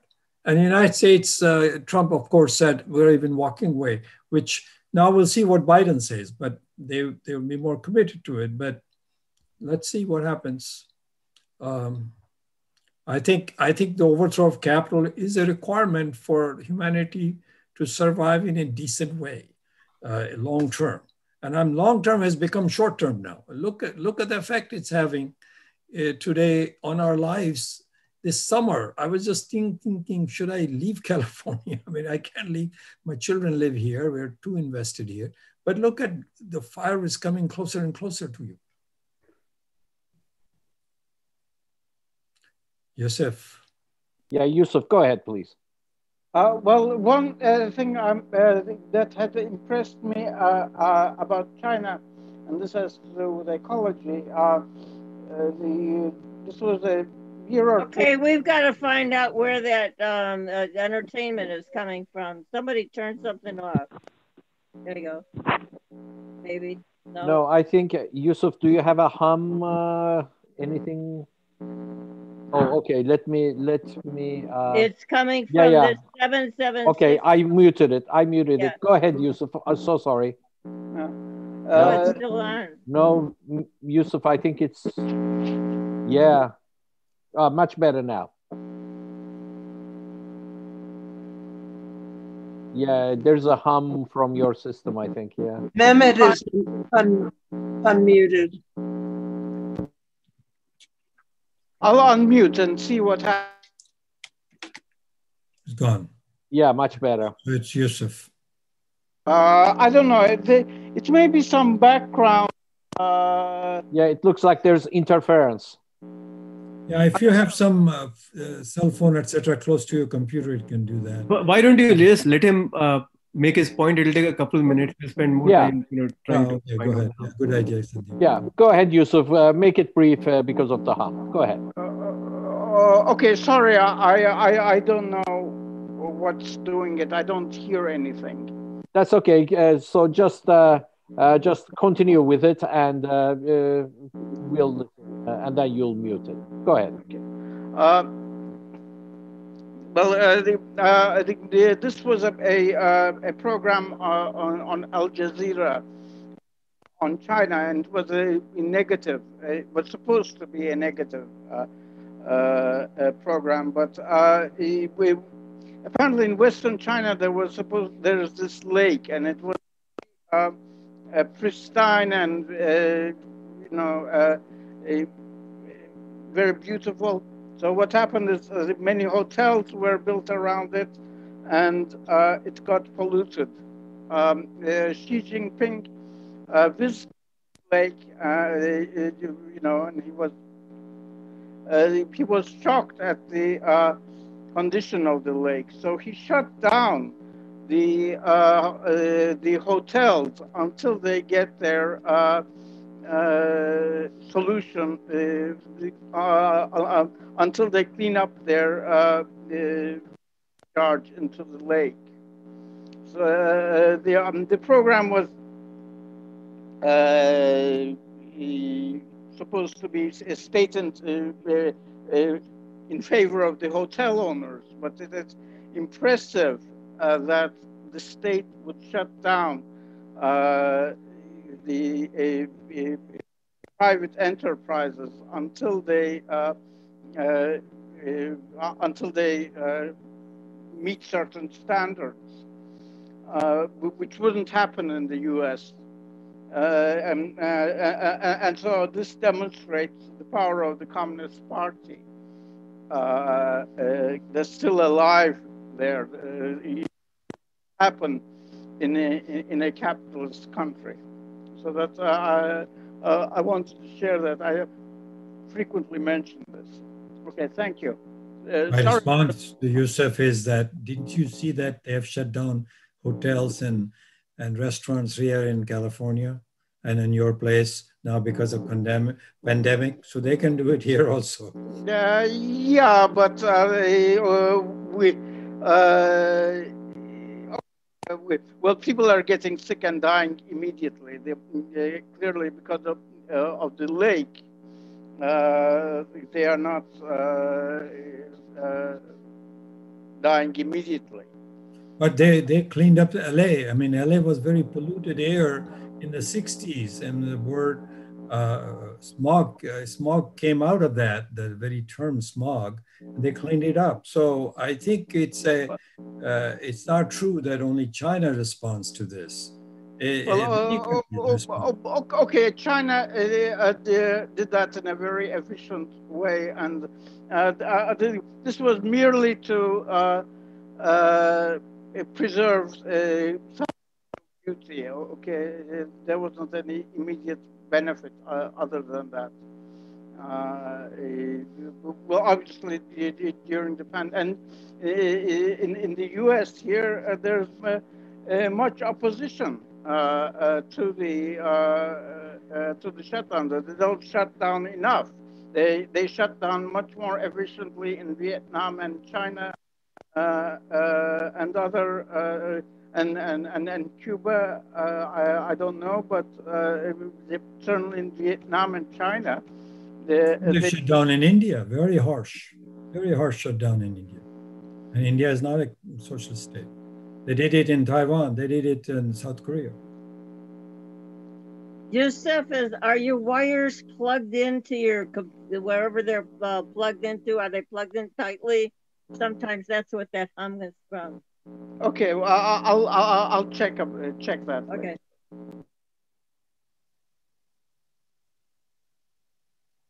I think Susan or Michael want to say something. Hello again. Hi. Um, okay, what I, what I want to say is there's a whole section of the left called the eco-socialist movement, which um, Ian, Ian, uh, what's his last name? Ian Angus. Angus and uh, John Bellamy Foster are part of, and I consider myself part of it too although I, I, I, they and I and I, a lot of other people believe that, that socialism includes eco-socialism, that eco-socialism is not something different. Um, my practical suggestion here is to invite one of them to come and talk, particularly Ian, because he may be available. Yeah. I, we, we had Joel Kovel who is a, an ardent enthusiast over uh, the eco social. Right, but he's he's gone, and that was a long time ago. Right. And I'm just I- mentioning but- it because I, you know, he's a good fellow. Right. Um, what I there and eco-socialists, a lot, a lot of us believe that this climate crisis, I, the campaign to deal with the climate crisis, is the is a route to to socialism, advocacy, structural, working on reform, reforms that need to happen to preserve the planet, et cetera, et cetera. So I think it's very important and uh, hope that we'll have more discussion about it. This, this discussion, I mean, um, today was very good, Raj, and it, the, the and China's a part of it because China's such such a big country and and um, dealing with issues, climate issues, and that in itself is a whole topic that various people have written about. Thank you. We have to raise Stephen Jay Gould. Yeah. Yeah. Anybody else? All I- right. I, I had a, I had a couple of comments. Uh, Sure. Can you Go ahead, Sandeep. Uh, so if you so first of all, the Communist Party uh, can decide to uh, to allow capitalism to grow. It did that in Russia and it did that in China, and that itself does it. It is a reversal because in a sense it means that you know the Communist Party could not develop the productive forces in a society based on socialist methods and that it had to resort to you know growth of capital to do that. But it, it can do that. It did that in russia. It that it did that in china too. But i, I think if you look at chinese the growth of capitalism in china uh, it has china has evolved from evolve you know exporting simple commodities to complex technology products. Chinese companies are now vying to dominate the world market in major technology sectors so china is capitalism is china is no longer like you know you know you know just growing productive forces to bring china at parity. You know china is at a stage today where it is exporting capital and complex technology products. And this is why there has been so much us you know restrictions on china. Is not because china is you know china's productive forces are growing but because chinese companies are now competing in the worldwide arena. And it has it has gotten to a point where Raj was mentioning Ant Financials. Now, Xi Jinping personally took a decision to clip down Ant Financials, which is a subsidiary of Alibaba. But I think that was more because Ant Financials has a credit reserve ratio because it's a fintech company, much, much lower than Chinese banking system. And the Chinese Communist Party th- saw that as a threat, you know, having, having such le- high levels of credit being, you know, given out by a company with such low credit reserve ratio that it was a potential threat to the stability of the Chinese, you know, financial system. So I just don't think that it was just a Chinese capitalist who was growing too big. It was much more than that. So I think there is definitely, you know, this whole thing about, you know, Chinese capitalism growing to a point where it, it's self-sustaining, you know, accumulation reaches a point where it can just destroy whatever, you know, socialist state that is there in China is, is a real threat that needs to be considered very seriously the other thing, you know, this example that Yusuf gave about, you know, the the lake and how Xi. I mean, we we want the people of that area to decide whether the lake can be polluted or not. We don't want diktats from Chinese leadership to go and tell us whether a lake is polluted or not. That is not the kind of socialism that we want to build. So clearly, while it is good that Xi Jinping did that, but it really tells us that the local people had no power to, you know, intervene in the pollution of the lake against the real estate lobby, which was going and building, you know, hotels there. I, I want to also quickly comment on the question that Sharon was asking. So, if you look at the uh, decarbonization in California, California has a plan to decarbonize the electric grid by 2045.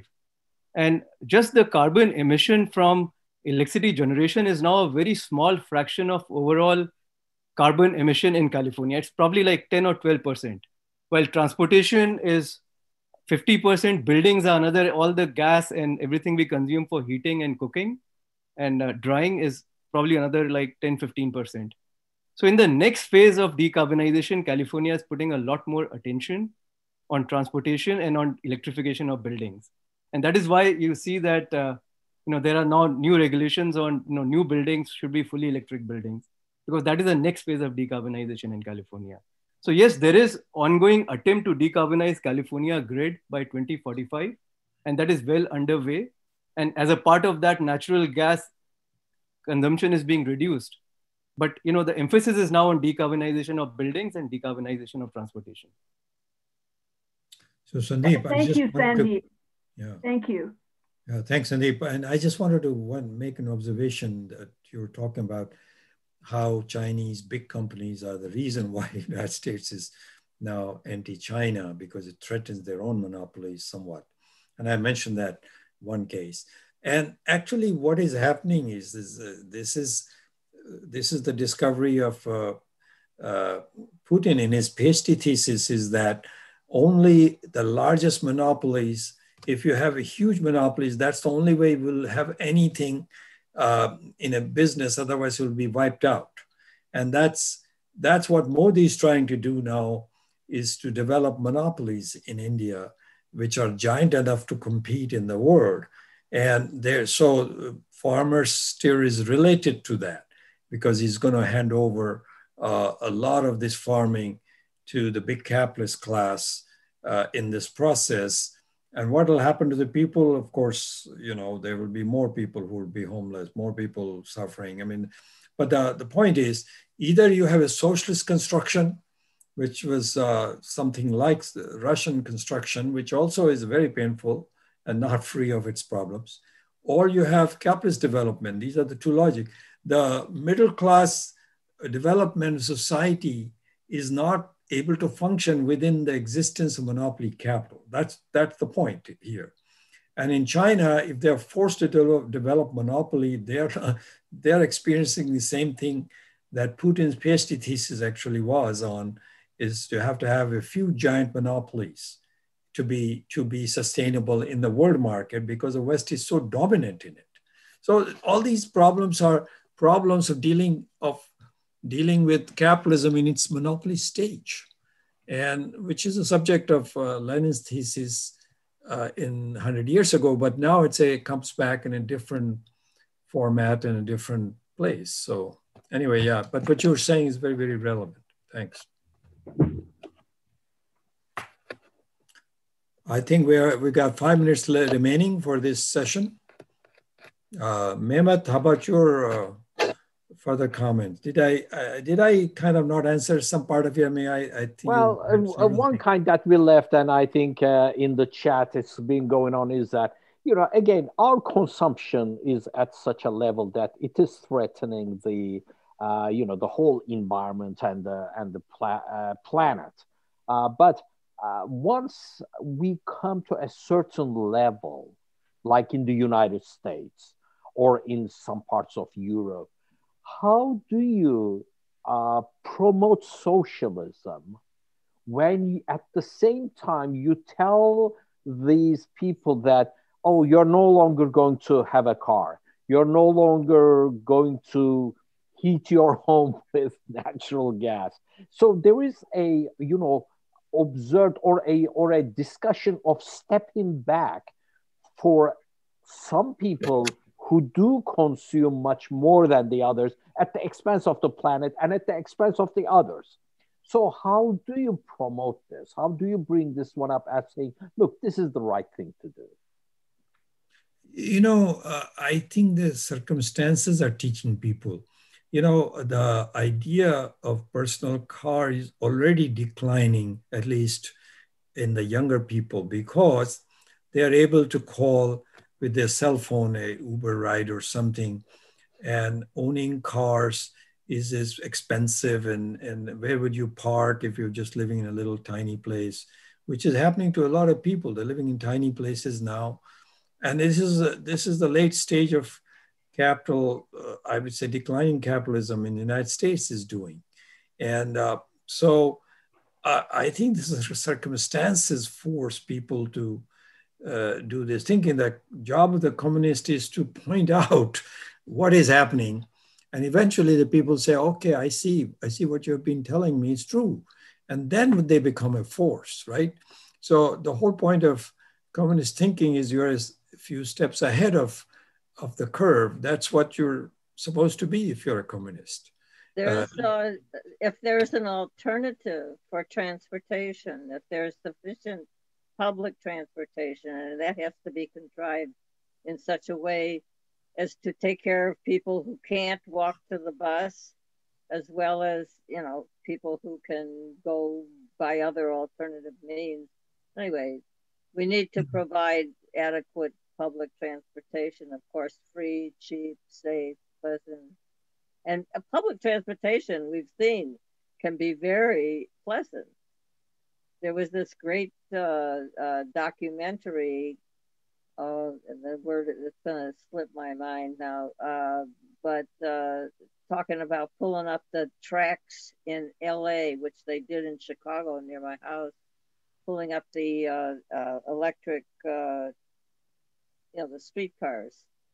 And that they showed people on on the corner uh, before that waiting for the streetcar having a pleasant time together oh yeah before the pandemic you know there were those ferries across the bay where you could get a cocktail and drink and then go to work. I mean i would do that any day.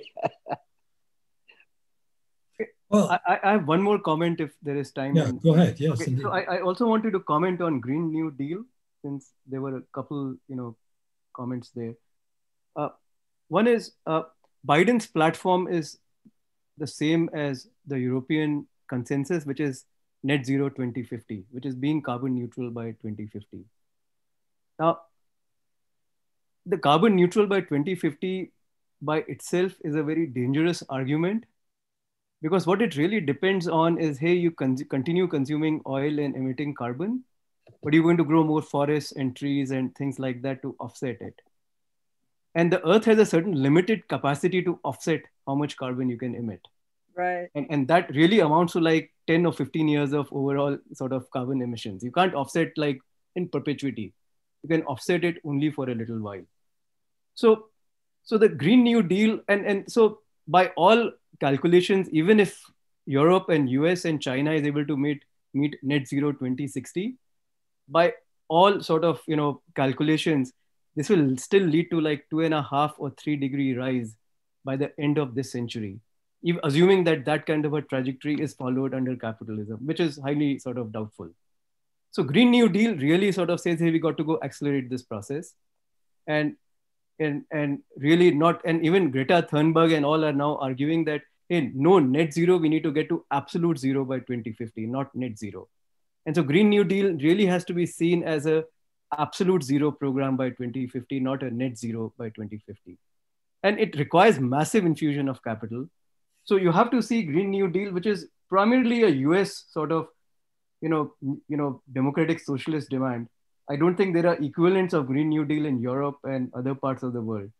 But if you look at Green New Deal, it has to be seen in it's it's a jobs program.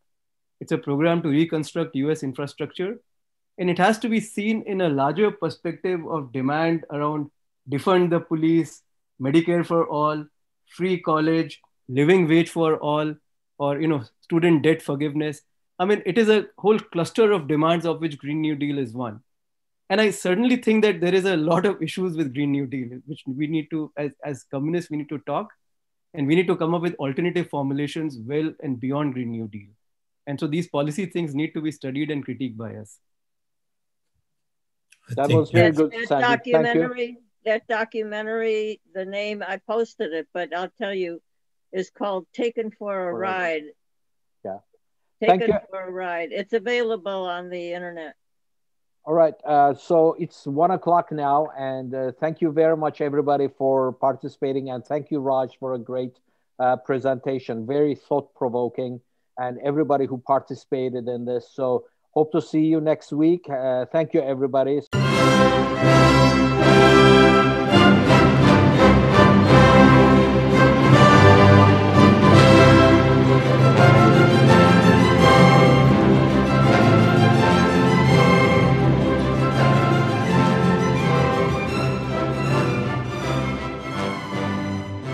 Institute for the Critical Study of Society at the Niebyl Proctor Marxist Library receives no corporate funding nor do we have any paid staff. We rely on the support of working class folks that share our commitment to the socialist legacy of Karl Marx. We continue to need funds to meet necessary expenses. Since we can no longer pass the hat at our in person forums, please send contributions to our treasurer either online via PayPal or by check. The PayPal ID is ICSS Sunday, S U N D A Y, at yahoo.com. And the name is Richard Fallenbaum. And checks may be made out to Richard Fallenbaum and sent to him at 1225 Nielsen Street, Berkeley, California 94706. Fallenbaum is spelled F A L L E N B A U M.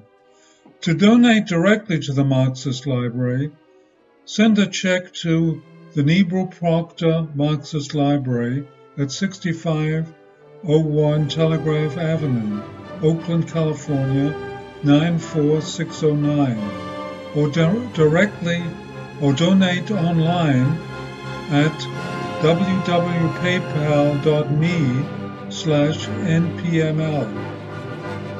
Info for information, write to, to npml at marxistlibr.org and the website is marxistlibr.org.